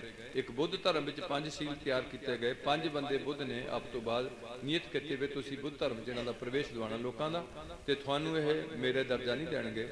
ਇੱਥੇ ਵੀ ਗੁਰੂ ਗੋਬਿੰਦ ਸਿੰਘ ਨੇ ਸਾਡੇ ਦੀ ਕਿਰਪਾ ਕਰਕੇ ਪੰਜ ਪਿਆਰਿਆਂ ਨੂੰ ਸਿਰਜਣਾ ਕਰਕੇ, ਇਹ ਪਹਿਲਾ ਪੈਗੰਬਰ ਹੈ ਵੀ ਮੈਂ ਤੁਹਾਨੂੰ ਬਾਅਦ ਚ ਗੱਲ ਦੱਸਣੀ ਹੈ। ਕਿ ਜਿਨ੍ਹਾਂ ਆਪਣੇ ਸਿੱਖ ਦੇ ਪੈਰਾਂ ਤੇ ਮੱਥਾ ਟੇਕ ਦਿੱਤਾ। ਇਹ ਤੋਂ ਪਹਿਲਾਂ ਕੋਈ ਵੀ ਐਸਾ ਪੈਗੰਬਰ ਨਹੀਂ ਦੇਖਣ ਚ ਆਇਆ, ਜਿਨ੍ਹਾਂ ਆਪਣੇ ਸਿੱਖ ਨੂੰ ਆਪਣਾ ਜੀਂਦੇ ਜੀ, ਉਹਦੇ ਅੱਗੇ ਮੱਥਾ ਟੇਕਿਆ ਹੋਇਆ। ਇਸੇ ਕਰਕੇ ਅੱਜ ਦਾ ਦਿਨ ਗੁਰੂ ਗ੍ਰੰਥ ਸਾਹਿਬ ਨੂੰ ਮੱਥਾ ਟੇਕਿਆ ਗਿਆ ਹੋਇਆ। ਇਸ ਕਰਕੇ ਇਹ ਵਿਸ਼ੇਸ਼ ਹੈ, ਮੈਂ ਹੁਣ ਆਖਰੀ ਟੌਪਿਕ ਤੋਂ ਸਾਂਝ ਪਾਣੇ ਆ ਕਿ ਪੀਵੋ ਪਾਹੁਲ ਖੰਡੇ ਤਾਰ ਹੋਏ ਜਨਮ ਹੁਣ ਮੇਰੀ ਬੇਨਤੀ ਹੈ, ਚਾਹੇ ਜਨੇਊ ਪਾ ਲਓ, ਚਾਹੇ ਉਹ ਲਾ ਲਓ ਇਹ ਚਾਰੇ ਧਰਮ ਰਹਿਣ, ਜਿਹੜੇ ਬਾਕੀ ਡੇਰਿਆਂ ਵਾਲੇ ਆਪਣਾ ਪ੍ਰਚਾਰ 15 15 ਕਿੱਲੇ ਲੈ ਕੇ ਮੇਰੇ ਰਾਹ ਸਮੇਂ ਵੀਰ ਬੈਠੇ ਨੇ, ਮੇਰੀ ਕਿਸੇ ਨਾਲ ਵਿਰੋਧਤਾ ਨਹੀਂ। ਉਹਨਾਂ ਨੂੰ ਸੋਚਣਾ ਚਾਹੀਦਾ ਵੀ ਅਸੀਂ ਹਿੰਦੂ ਧਰਮ ਦਾ ਪ੍ਰਚਾਰ ਕਰਨਾ ਹੈ, ਕਿ ਆਪਾਂ ਸਿੱਖ ਦਾ ਕਰਨਾ ਹੈ, ਜਾਂ ਆਪਾਂ ਈਸਾਈ ਧਰਮ ਦਾ ਪ੍ਰਚਾਰ ਕਰਨਾ, ਇੱਕ ਧਰਮ ਦਾ ਪ੍ਰਚਾਰ ਕਰਨਾ ਉਹਨਾਂ ਦਾ ਫਰਜ਼ ਬਣਦਾ, ਜਿਹੜੇ ਧਰਮ ਨਾਲ ਵੀ ਉਹ ਰਿਲੇਟਡ ਨੇ। ਤੇ ਇਹ ਨਹੀਂ ਵੀ ਦੂਜੇ ਬੰਦਿਆਂ ਨੂੰ ਵੀ ਆਪਣੇ ਚੇਲੇ ਬਣਾਈ ਜਾਓ ਉਹਨਾਂ ਨੂੰ ਵੀ ਆਪਣੇ ਚੇਲੇ ਬਣਾਓ ਨਾ ਹਿੰਦੂਆਂ ਜੋਗੇ ਰਹੇ, ਨਾ ਉਹ ਸਾਈਆਂ ਜੋਗੇ ਰਹੇ, ਨਾ ਉਹ ਸਿੱਖਾਂ ਜੋਗੇ ਰਹੇ, ਉਹ ਨਵੇਂ ਕੋਈ ਫਿਰਕਾ ਤੋੜਨ ਲੱਗੇ ਨੇ। ਉੱਥੇ ਨਾ ਤੁਹਾਡਾ ਕੋਈ ਗੁਰੂ ਗ੍ਰੰਥ ਸਾਹਿਬ ਪ੍ਰਕਾਸ਼ ਹੁੰਦਾ, ਨਾ ਤੁਹਾਡਾ ਉੱਥੇ ਨਿਸ਼ਾਨ ਸਾਹਿਬ ਲੱਗਦਾ, ਨਾ ਹਿੰਦੂਆਂ ਦਾ ਤਸੂਲ ਚੜਦਾ ਨਾ ਸਲੀਬ ਟੰਗੀ ਜਾਂਦੀ ਹੈ, ਨਾ ਉੱਥੇ ਮੁਸਲਮਾਨਾਂ ਦਾ ਚੰਦ ਦੇ ਤਾਰਾ ਹੁੰਦਾ। ਬਹੁਤ ਕੁਝ ਹੈ। ਅੱਜ ਤੁਹਾਨੂੰ ਜਾਗਣ ਦੀ ਮੇਰੀ ਹੱਥ ਜੋੜ ਕੇ ਬੇਨਤੀ ਹੈ ਕਿ ਤੁਸੀਂ ਹੁਣ ਕਿਸੇ ਬਹੁਤੇ ਇੱਧਰ ਚੱਕਰਾਂ 'ਚ ਨਾ ਪਾਓ। ਸਵੇਰੇ ਗੁਰਦੁਆਰੇ ਬੈਠੋ ਏਸੀ ਪੀਵੋ ਪਹੁਲ ਖੰਡੇ ਧਾਰ ਹੋਏ ਜਨਮ। ਹੁਣ ਜਿਹੜੇ ਵੀ ਘਰ ਵਿੱਚ ਨਸ਼ਾ ਮੁੱਕ ਗਿਆ, ਜਿਹੜੇ ਘਰ 'ਚ ਬੇਈਮਾਨੀ ਦੀ ਕਮਾਈ ਮੁੱਕ ਗਈ, ਜਿਹੜੇ ਘਰ 'ਚ ਜਿਹੜਾ ਝੂਠ ਦਾ ਪਹਿਰਾ ਖਤਮ ਹੋ ਗਿਆ, ਜਿਹੜੇ ਘਰ ਵਿੱਚ ਦੋ ਟਾਈਮ ਪ੍ਰਭੂ ਭਗਤੀ ਹੋਣ ਲੱਗ ਪਈ, ਜਿਹੜੇ ਘਰ ਵਿੱਚ ਇਸਤਰੀ ਤੇ ਮਰਦ ਦਾ ਆਪੋ ਜੀ ਸੰਬੰਧ ਜਾਇਜ਼ ਬਣਿਆ ਰਿਹਾ ਕਰੈਕਟਰ ਡਾਊਨ ਨਾ ਹੋਇਆ, ਤੇ ਜਿਹੜੇ ਘਰ ਵਿੱਚ ਆਏ ਗਏ ਸਿੱਖ ਸਾਧ ਦੀ ਸੇਵਾ ਹੋਣ ਲੱਗ ਪਈ, ਉਸ ਘਰ ਵਿੱਚ ਹਰ ਇੱਕ ਦਾ ਜਨਮ ਕੀ ਹੋਏਗਾ? ਸਹਿਲਾ ਹੋਏਗਾ, ਜ਼ਰੂਰ ਹੋਏਗਾ। ਪੀਵੋ ਪਹੁਲ ਖੰਡੇ ਧਾਰ ਹੋਏ ਜਨਮ, ਕੋਈ ਕਬਰ ਮੜੀ ਮਸਾਨ ਜਠੇਰਾ, ਜਾਂ ਕਿਸੇ ਦੀ ਪੂਜਾ ਨਹੀਂ ਕਰਨੀ, ਧਾਗਾ, ਤਵੀਤ, ਜੰਤਰ, ਮੰਤਰ, ਟੂਣੇ, ਟਮਾਣੇ, ਇਹਨਾਂ ਤੋਂ ਉੱਪਰ ਉੱਠ ਕੇ ਇੱਕ ਕੇਵਲ ਪ੍ਰਮਾਤਮਾ ਦੀ ਭਗਤੀ ਕਰਨੀ ਹੈ ਸਿੱਖ ਨੇ। ਹੋਰ ਕਿਸੇ ਤੋਂ ਡਰਨਾ ਨਹੀਂਗਾ, ਜੇ ਡਰਨਾ ਤੇ ਆਪਣੇ ਮਾੜੇ ਕੰਮਾਂ ਤੋਂ ਡਰਨਾ। ਕੀ ਤੋਂ ਡਰਨਾ ਹੈ? ਬਾਬਿਆਂ ਤੋਂ ਤੁਸੀਂ ਡਰੇ। ਮੈਂ ਦੇਖਦਾ ਮੇਰੇ ਤੋਂ ਲੋਕ ਡਰਨ ਲੱਗ ਪਏ। ਹਾਂ ਬਾਬਾ ਹੈ ਆ ਗਿਆ। ਮੈਂ ਬਾਬਾ ਹੈ ਆ ਗਿਆ। ਉਹ ਨਾ ਡਰੋ ਥੋੜਾ ਜਿਹਾ ਹੌਸਲਾ ਰੱਖੋ, ਤੁਹਾਡੇ 'ਚ ਪ੍ਰਮਾਤਮਾ ਦੀ ਜੋਤ ਹੈ। ਉਹਨੂੰ ਪ੍ਰਜਵਲਿਤ ਕਰੋ ਤੇ ਡਰਨਾ ਤੇ ਆਪਣੇ ਮਾੜੇ ਕੰਮਾਂ ਤੇ ਜ਼ਰੂਰ ਡਰੋ, ਇੱਕ ਦੂਜੇ ਨਾਲ ਪਿਆਰ ਕਰੋ। ਐਵੇਂ ਨਾ, ਤੁਹਾਨੂੰ ਡਰਾਉਣ ਵਾਸਤੇ ਤਾਂ ਬੜੇ ਅੱਗੇ ਬੜੇ ਨੇ, ਤੁਹਾਨੂੰ ਬੜਾ ਡਰਾਇਆ ਲੋਕਾਂ ਨੇ। ਧਾਗੇ ਵਾਲਿਆਂ ਤੋਂ ਤੁਸੀਂ ਡਰਦੇ, ਸੱਪ ਦੀ ਜਗ੍ਹਾ ਤੋਂ ਤੁਸੀਂ ਡਰਦੇ। ਤੁਸੀਂ ਤਾਂ ਪਹਿਲੇ ਡਰ ਡਰ ਕੇ ਚੋੜੇ ਗਏ ਆ ਤੇ ਹੁਣ ਤਾਂ ਥੋੜਾ ਬਹੁਤਾ ਡਰ ਦੂਰ ਕਰੋ, ਪ੍ਰਮਾਤਮਾ ਤੇ ਸਿੱਧਕ ਰੱਖੋ। ਤੇ ਗੁਰੂ ਪਾਤਸ਼ਾਹ ਰਹਿਮਤ ਕਰਨ। ਅਗਲੀ ਮੇਰੀ ਬੇਨਤੀ ਹੁੰਦੀ ਹੈ ਕਿ ਹੋਏ ਜਨਮ ਸੇ ਬਾਹੋ ਬਾਹੋ। ਗੋਬਿੰਦ ਸਿੰਘ ਜੋ ਵਾ- ਜੋਗ ਨੇ ਗੁਰੂ ਗੋਬਿੰਦ ਸਿੰਘ ਜੀ। ਕਿਉਂ? ਆਪੇ ਗੁਰ ਇਹ ਹੈ। ਗੁਰੂ ਨਾਨਕ ਲੈਣੇ ਦੇ ਪੈਰਾਂ ਤੇ ਮੱਥਾ ਟੇਕ ਜਾਂਦੇ ਨੇ। ਲੈਣਾ ਜੀ, ਅਮਰਦਾਸ ਦੇ ਪੈਰਾਂ ਤੇ ਮੱਥਾ ਟੇਕਦੇ ਨੇ। ਇਸੇ ਤਰੀਕੇ ਨਾਲ ਗੋਬਿੰਦ ਸਿੰਘ ਜੀ ਹੁਣ ਕਿਹਦੇ ਪੈਰਾਂ ਤੇ ਮੱਥਾ ਟੇਕਣਗੇ? ਸ੍ਰੀ ਗੁਰੂ ਗ੍ਰੰਥ ਸਾਹਿਬ ਦੇ ਚਰਨਾਂ 'ਚ ਝੁਕਣਗੇ। ਪੀਵੋ ਪਹੁਲ ਖੰਡੇ ਬਾਹੋ ਬਾਹੋ ਗੋਬਿੰਦ ਸਿੰਘ ਆਪੇ ਗੁਰ ਚੇਲਾ। ਰਹਿਣੀ ਰਹਿ। ਹਾਂ, ਮੇਰਾ ਰਿਸ਼ਤਾ ਉਹਦੇ ਨਾਲ ਰਹੂਗਾ, ਜਿਹੜਾ ਮੇਰੀ ਰਹਿਤ ਵਿੱਚ ਪੱਕਾ ਰਹੇਗਾ। ਉਹ ਸਾਹਿਬ, ਉਹ ਵੀ ਮੈਂ ਉਹਨੂੰ ਸਾਹਿਬ ਦਾ ਦਰਜਾ ਦਊਂਗਾ, ਮੈਂ ਉਹਦਾ ਦਾਸ ਬਣ ਕੇ ਰਹੂੰਗਾ। ਇਹ ਬਗੜੀ ਵਿਸ਼ੇਸ਼ ਗੱਲਾਂ ਨੇ ਤੁਹਾਡੇ ਕੋਲ। ਉਹ ਸਾਹਿਬ, ਮੈਂ ਉਸਕਾ ਚੇਲਾ। ਔਰ ਉਹਨੇ ਬੜੀ ਯਤਨ ਕੀਤਾ, ਸਾਨੂੰ ਸਰਦਾਰ ਬਣਾਉਣ ਦਾ, ਸਿੱਖ ਨਾਲ ਲਾਣ ਦਾ, ਰੰਗਰੇਟੇ ਗੁਰੂ ਕੇ ਬੇਟੇ ਦੇ ਵਰ ਦੇਣ ਦਾ। ਪਰ ਹਜੇ ਵੀ ਸਿੱਖਾਂ ਵਿੱਚ ਇਹ ਨੀਵੀਂ ਜਾਤ ਹੈ, ਇਹ ਉੱਚੀ ਜਾਤ। ਸਿਰਫ ਜੱਟਾਂ ਵਿੱਚ ਇਹ ਗੱਲ ਬਹੁਤ ਹੈ ਤੇ ਦੂਜੀਆਂ ਜਾਤਾਂ ਵੀ ਉੱਥੇ ਖੜ ਗਈਆਂ ਵਾ ਵੀ ਤਰਖਾਣਾ ਦੀ ਕੁੜੀ ਕਿਸੇ ਹੋਰ ਗੁਰਸਿੱਖ ਨੂੰ ਨਹੀਂ ਦੇਣੀ ਤੇ ਜਿਹੜਾ ਕੋਈ ਸ਼ੀਂਬਿਆਂ ਦੀ ਕੁੜੀ ਉਹ ਕਿਸੇ ਤਰਖਾਣ ਨੂੰ ਨਹੀਂ ਦੇਣੀ। ਮਤਲਬ ਉਹ ਜਿਹੜੀ ਤੁਹਾਡੀ ਹਿੰਦੂਆਂ ਦੀ ਤੁਹਾਡੇ 'ਚ ਗੱਲ ਬਾੜੀ ਹੋਈ ਹੈ ਨਾ, ਉਹ ਹਜੇ ਤੱਕ ਤੁਹਾਡੇ 'ਚੋਂ ਨਿਕਲਦੀ ਨਹੀਂ। ਮੈਨੂੰ ਕਈ ਵਾਰ ਬੇਨਤੀ ਕਰਨੀ ਪੈਂਦੀ ਹੈ ਵੀ ਜਾਤਾਂ ਦੋਏ ਨੇ, ਇੱਕ ਅਮੀਰ ਹੈ, ਇੱਕ ਗਰੀਬ ਅਮੀਰ ਜੱਟ ਕਦੇ ਵੀ ਗਰੀਬ ਜੱਟ ਨੂੰ ਕੁੜੀ, ਅਮੀਰ ਬਾਹਮਣ ਕਦੇ ਗਰੀਬ ਬਾਹਮਣ ਨੂੰ ਕੁੜੀ ਨਹੀਂ ਦੇਗਾ।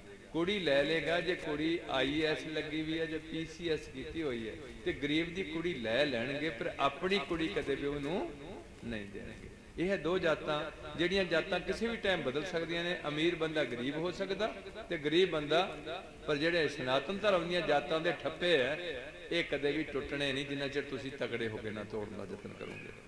ਤੇ ਗੁਰੂ ਨੇ ਸਾਨੂੰ ਖੁੱਲੇ ਤੌਰ ਤੇ ਕਿਹਾ ਕਿ ਜਾਤ ਦਾ ਗਰਭ ਨਾ ਕਰਿਓ, ਤਾਂ ਰਵਿਦਾਸ ਜੀ ਨੂੰ ਚੁੱਕ ਕੇ ਹਿੱਕ ਨਾਲ ਲਾਇਆ, ਤਾਂ ਕਬੀਰ ਜੀ ਨੂੰ ਚੁੱਕ ਕੇ ਹਿੱਕ ਨਾਲ ਲਾਇਆ, ਤਾਂ ਨਾਮਦੇਵ ਨੂੰ ਚੁੱਕ ਕੇ ਹਿੱਕ ਨਾਲ ਲਾਇਆ, ਇਨੀ ਉਹਨਾਂ ਲੋਕਾਂ ਕੋਲ ਬਹੁਤ ਧੱਕੇ ਖਾਦੇ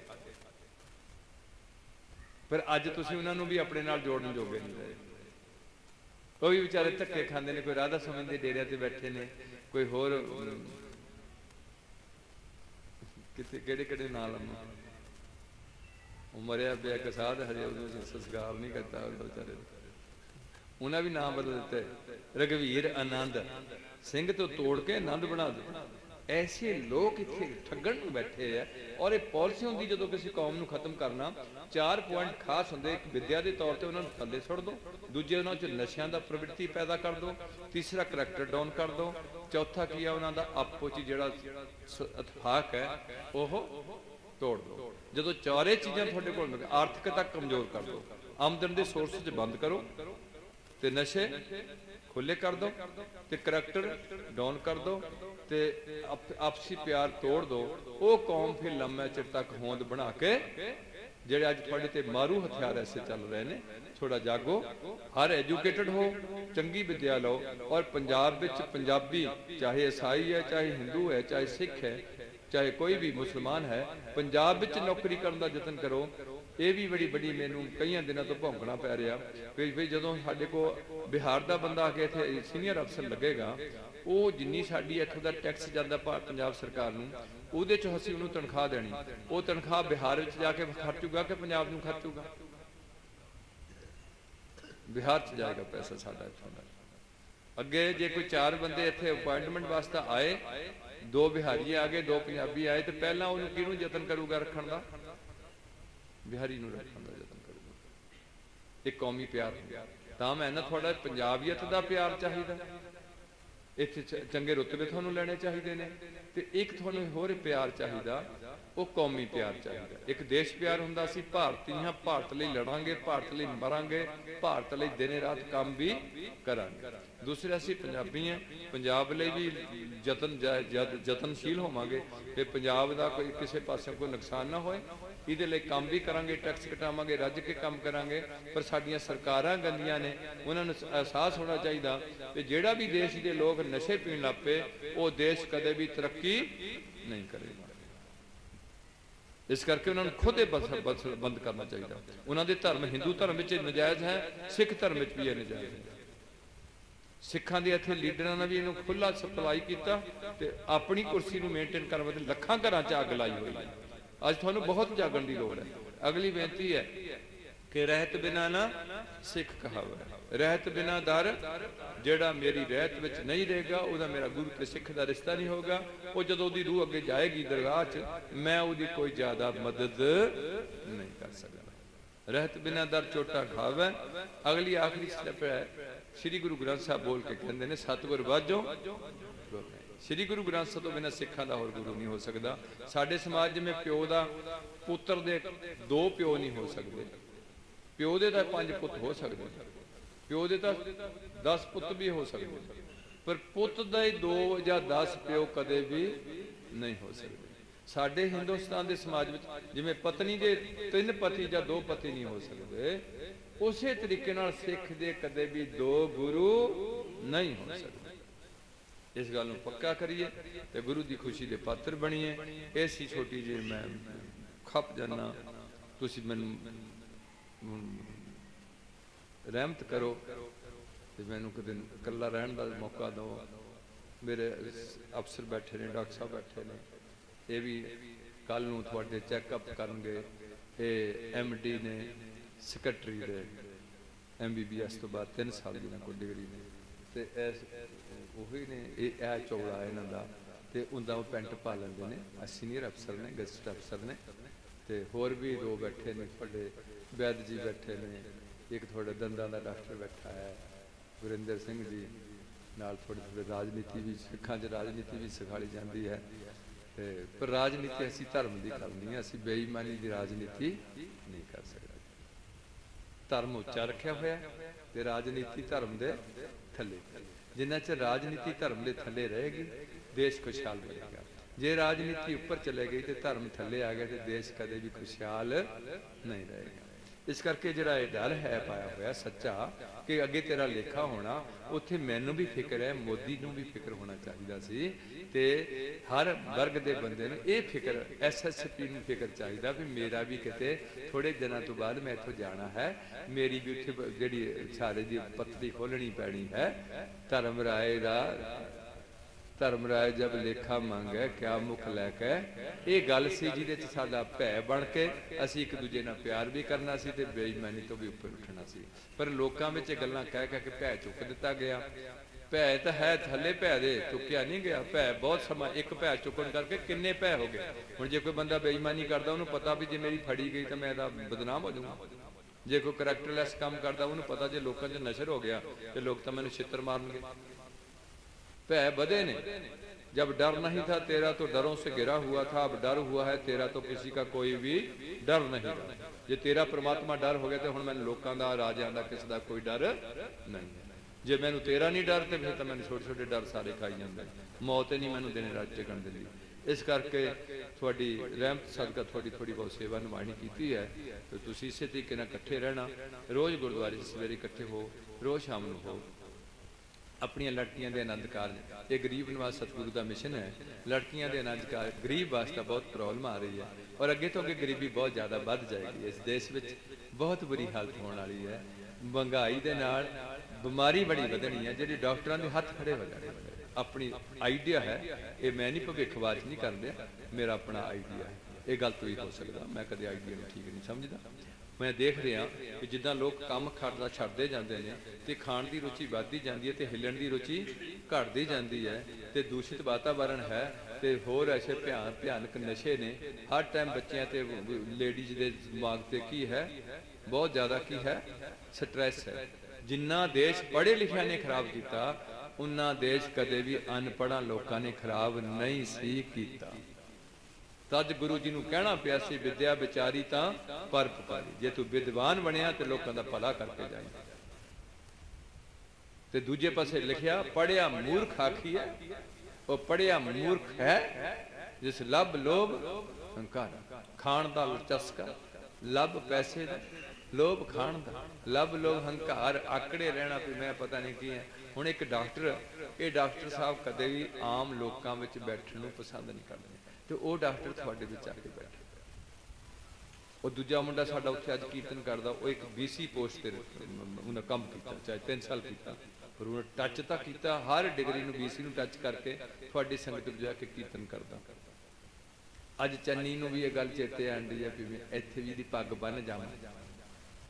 ਇਹਦੀ ਪੱਗ ਜੇ ਲੱਥੀ ਹੈ ਤੇ ਇਹਦੀ ਪੱਗ ਵੀ ਮੈਂ ਆਪ ਬੰਨਣਾ ਪੱਗ ਦੀ ਇੱਜ਼ਤ ਕਰ ਰਿਹਾ। ਨਿਮਰਤਾ ਬਹੁਤ ਵੱਡਾ ਹਥਿਆਰ ਹੈ। ਮਿੱਠਤ ਨੀਮੀ ਨਾਨਕਾ ਗੁਣ ਚੰਗਿਆਈਆਂ।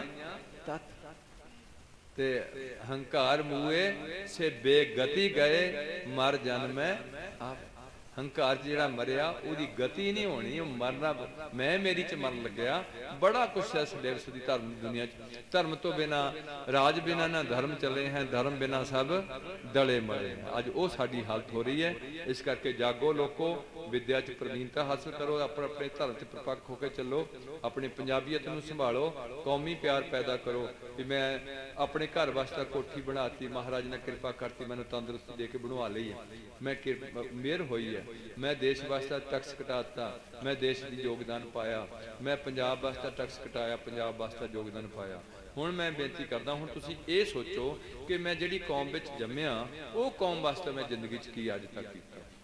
ਜਿੱਦਨ ਤੁਸੀਂ ਇਹ ਸੋਚਣਾ ਸ਼ੁਰੂ ਕਰੋਗੇ, ਉਦੋਂ ਤੁਹਾਨੂੰ ਕੌਮ ਦਾ ਇੱਕ ਦਰਦ ਤੁਹਾਡੇ ਅੰਦਰ ਪੈਦਾ ਹੋਊਗਾ।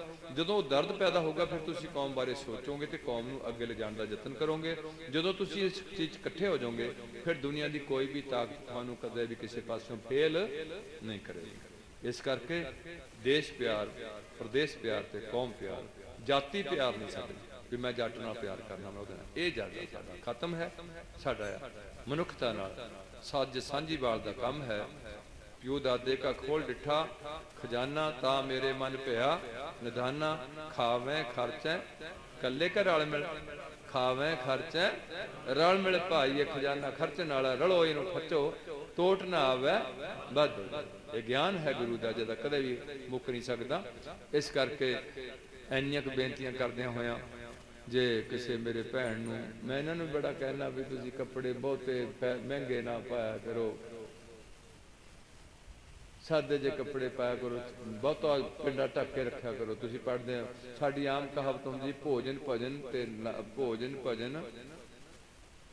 ਨਾਰੀ ਤੇ ਇੱਕ ਇੱਕ ਚਾਰ ਚੀਜ਼ਾਂ ਸੀ, ਭੋਜਨ ਭਜਨ, ਖਜ਼ਾਨਾ, ਨਾਰੀ, ਭੋਜਨ ਭਜਨ, ਖਜ਼ਾਨਾ, ਨਾਰੀ ਚਾਰੇ ਪੜਦੇ ਕੇ ਅਧਿਕਾਰੀ। ਮਤਲਬ ਕੁਝ ਪਰਦੇ ਚ ਰੱਖਣ ਵਾਲੀਆਂ ਚੀਜ਼ਾਂ ਨੇ। ਪਰ ਇਹ ਨਹੀਂ ਹੈ, ਜੇ ਪਰਦੇ ਵਿੱਚ ਵੀ ਮਨ ਗੰਦਾ ਹੈ ਤਾਂ ਉਹ ਵੀ ਪਰਦਾ ਪਰਦਾ ਨਹੀਂ ਹੈ। ਜੇ ਮੂੰਹ ਨੰਗੇ ਤੋਂ ਵੀ ਮਨ ਠੀਕ ਹੈ, ਤੇ ਗੱਲ ਨਹੀਂ, ਪਰ ਨੰਗਾ ਛੱਡਣ ਨਾਲ ਘੱਟਾ, ਮਿੱਟੀ ਜਿਹੜੀ ਸਾਡੇ ਕੇਸਾਂ ਦੀ ਬੇਅਦਬੀ ਤੇ ਇਹਨਾਂ ਦੀ ਤਾਕਤ ਕਮਜ਼ੋਰ ਹੋਣੀ, ਇਹ ਬੜਾ ਕੁਝ ਪਿਆ।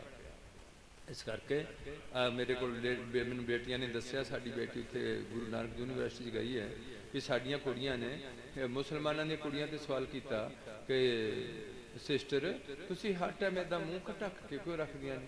ਤੇ ਉਹਨੇ ਅੱਗੇ ਜਵਾਬ ਦਿੱਤਾ, ਉਹ ਆਂਦੀਆਂ ਵੀ ਸਿਸਟਰ, ਦੋ ਟੌਫੀਆਂ ਨੇ। ਇੱਕ ਟੌਫੀ ਬਿਲਕੁਲ ਪੈਕ ਹੋਈ ਹੈ। ਉਹਦੇ ਤੇ ਪੂਰਾ ਜਿਹੜਾ ਕਾਗਜ਼ ਚੜਿਆ, ਉਹ ਚੜਿਆ। ਦੂਸਰੀ ਟੌਫੀ ਨੰਗੀ ਕਰਕੇ ਰੱਖੀ ਹੋਈ ਹੈ। ਸਾਫ਼ ਕਿਹੜੀ ਰਹੇਗੀ? ਉਹ ਕੁੜੀਆਂ ਨੂੰ ਕੋਈ ਗੱਲ ਨਹੀਂ ਉਹਨਾਂ ਹੋਰ ਕੁਝ ਨਹੀਂ ਕਿਹਾ। ਉਹਨਾਂ ਤੁਸੀਂ ਦੱਸੋ ਕਿਹੜੀ ਟੌਫੀ ਠੀਕ ਹੋਏਗੀ? ਆਂਦੀ, ਜਿਹੜੀ ਕਵਰ ਹੈ, ਉਹ ਤਾਂ ਫਿਰ ਮੈਂ ਆਪਣੇ ਪਿੰਡੇ ਨੂੰ ਕਵਰੇਜ ਰੱਖਿਆ ਵਾ, ਹੋਰ ਤਾਂ ਮੈਂ ਕੁਝ ਨਹੀਂ ਕੀਤਾ ਮੈਂ ਤੁਹਾਡੇ ਨਾਲ ਪੜ੍ਹਦੀ ਪਰ ਉਹਨਾਂ ਦੀ ਇੱਕ ਧਰਮ ਦੀ ਪਾਬੰਦੀ ਰੱਖਦੀ ਇਸ ਕਰਕੇ ਧਰਮ ਇੱਕ ਪਾਬੰਦੀ ਤਾਂ ਦਿੱਤੀ ਸੀ ਤਾਂ ਕਿ ਨਾਲ ਜੀਵਨ ਉੱਚਾ ਹੋ ਜਦੋਂ ਬੰਦਾ ਪਾਬੰਦੀਆਂ ਤੋੜਦਾ, ਫਿਰ ਕਿਸੇ ਜੋਗਾ ਨਹੀਂ ਰਹਿੰਦਾ। ਤਾਂ ਜੇਲਾਂ ਤਿਆਰ ਕੀਤੀਆਂ ਵੀ ਬੰਦਾ ਨਿਯਮ ਵਿੱਚ ਰਹੇ। ਪਰ ਅੱਜ ਮੁਸ਼ਕਲ ਇਹ ਹੈ ਵੀ ਜਿਹੜੇ ਬੰਦਿਆਂ ਨੇ ਸਾਨੂੰ ਨਿਯਮ ਵਿੱਚ ਰੱਖਣਾ, ਉਹ ਆਪ ਬੇਨਿਯਮੇ ਹੋਏ ਨੇ। ਫਿਰ ਅਸੀਂ ਨਿਯਮ ਕਿਵੇਂ ਕਰਾਂਗੇ? ਸੋ ਇਹ ਸਾਨੂੰ ਕੁਝ ਬੇਨਤੀਆਂ ਐਨੀਆਂ ਬੇਨਤੀਆਂ ਕਰਦਿਆਂ ਹੋਇਆਂ ਮੇਰੀ ਕਿਸੇ ਭੈਣ ਨੂੰ, ਮੇਰੇ ਕਿਸੇ ਭਰਾ ਨੂੰ, ਕਿਸੇ ਬਜ਼ੁਰਗ ਨੂੰ ਮੇਰੇ ਤਕਰੀਬਨ ਅਸੀਂ ਕੋਈ ਇੱਕ ਅੱਧਾ ਹੀ ਆ, ਸਾਡੀ ਜਾਤ ਉਮਰ ਤੋਂ ਜ਼ਿਆਦਾ ਉਹ ਹੈ ਨਹੀਂ, ਅੱਜ ਉਹ ਜਿਹੜਾ ਉਹ, ਜਿਹੜਾ ਸਾਡਾ ਉਹ, ਜਿਹਦੇ ਮੁੰਡੇ ਅਨੰਦਪੁਰ ਸਾਹਿਬ ਕੱਢੇ ਉਹ ਕਿੱਥੇ ਹੈ ਉਹ ਅਠਵਾਲ ਜਿਹੜਾ। ਹਾਂ?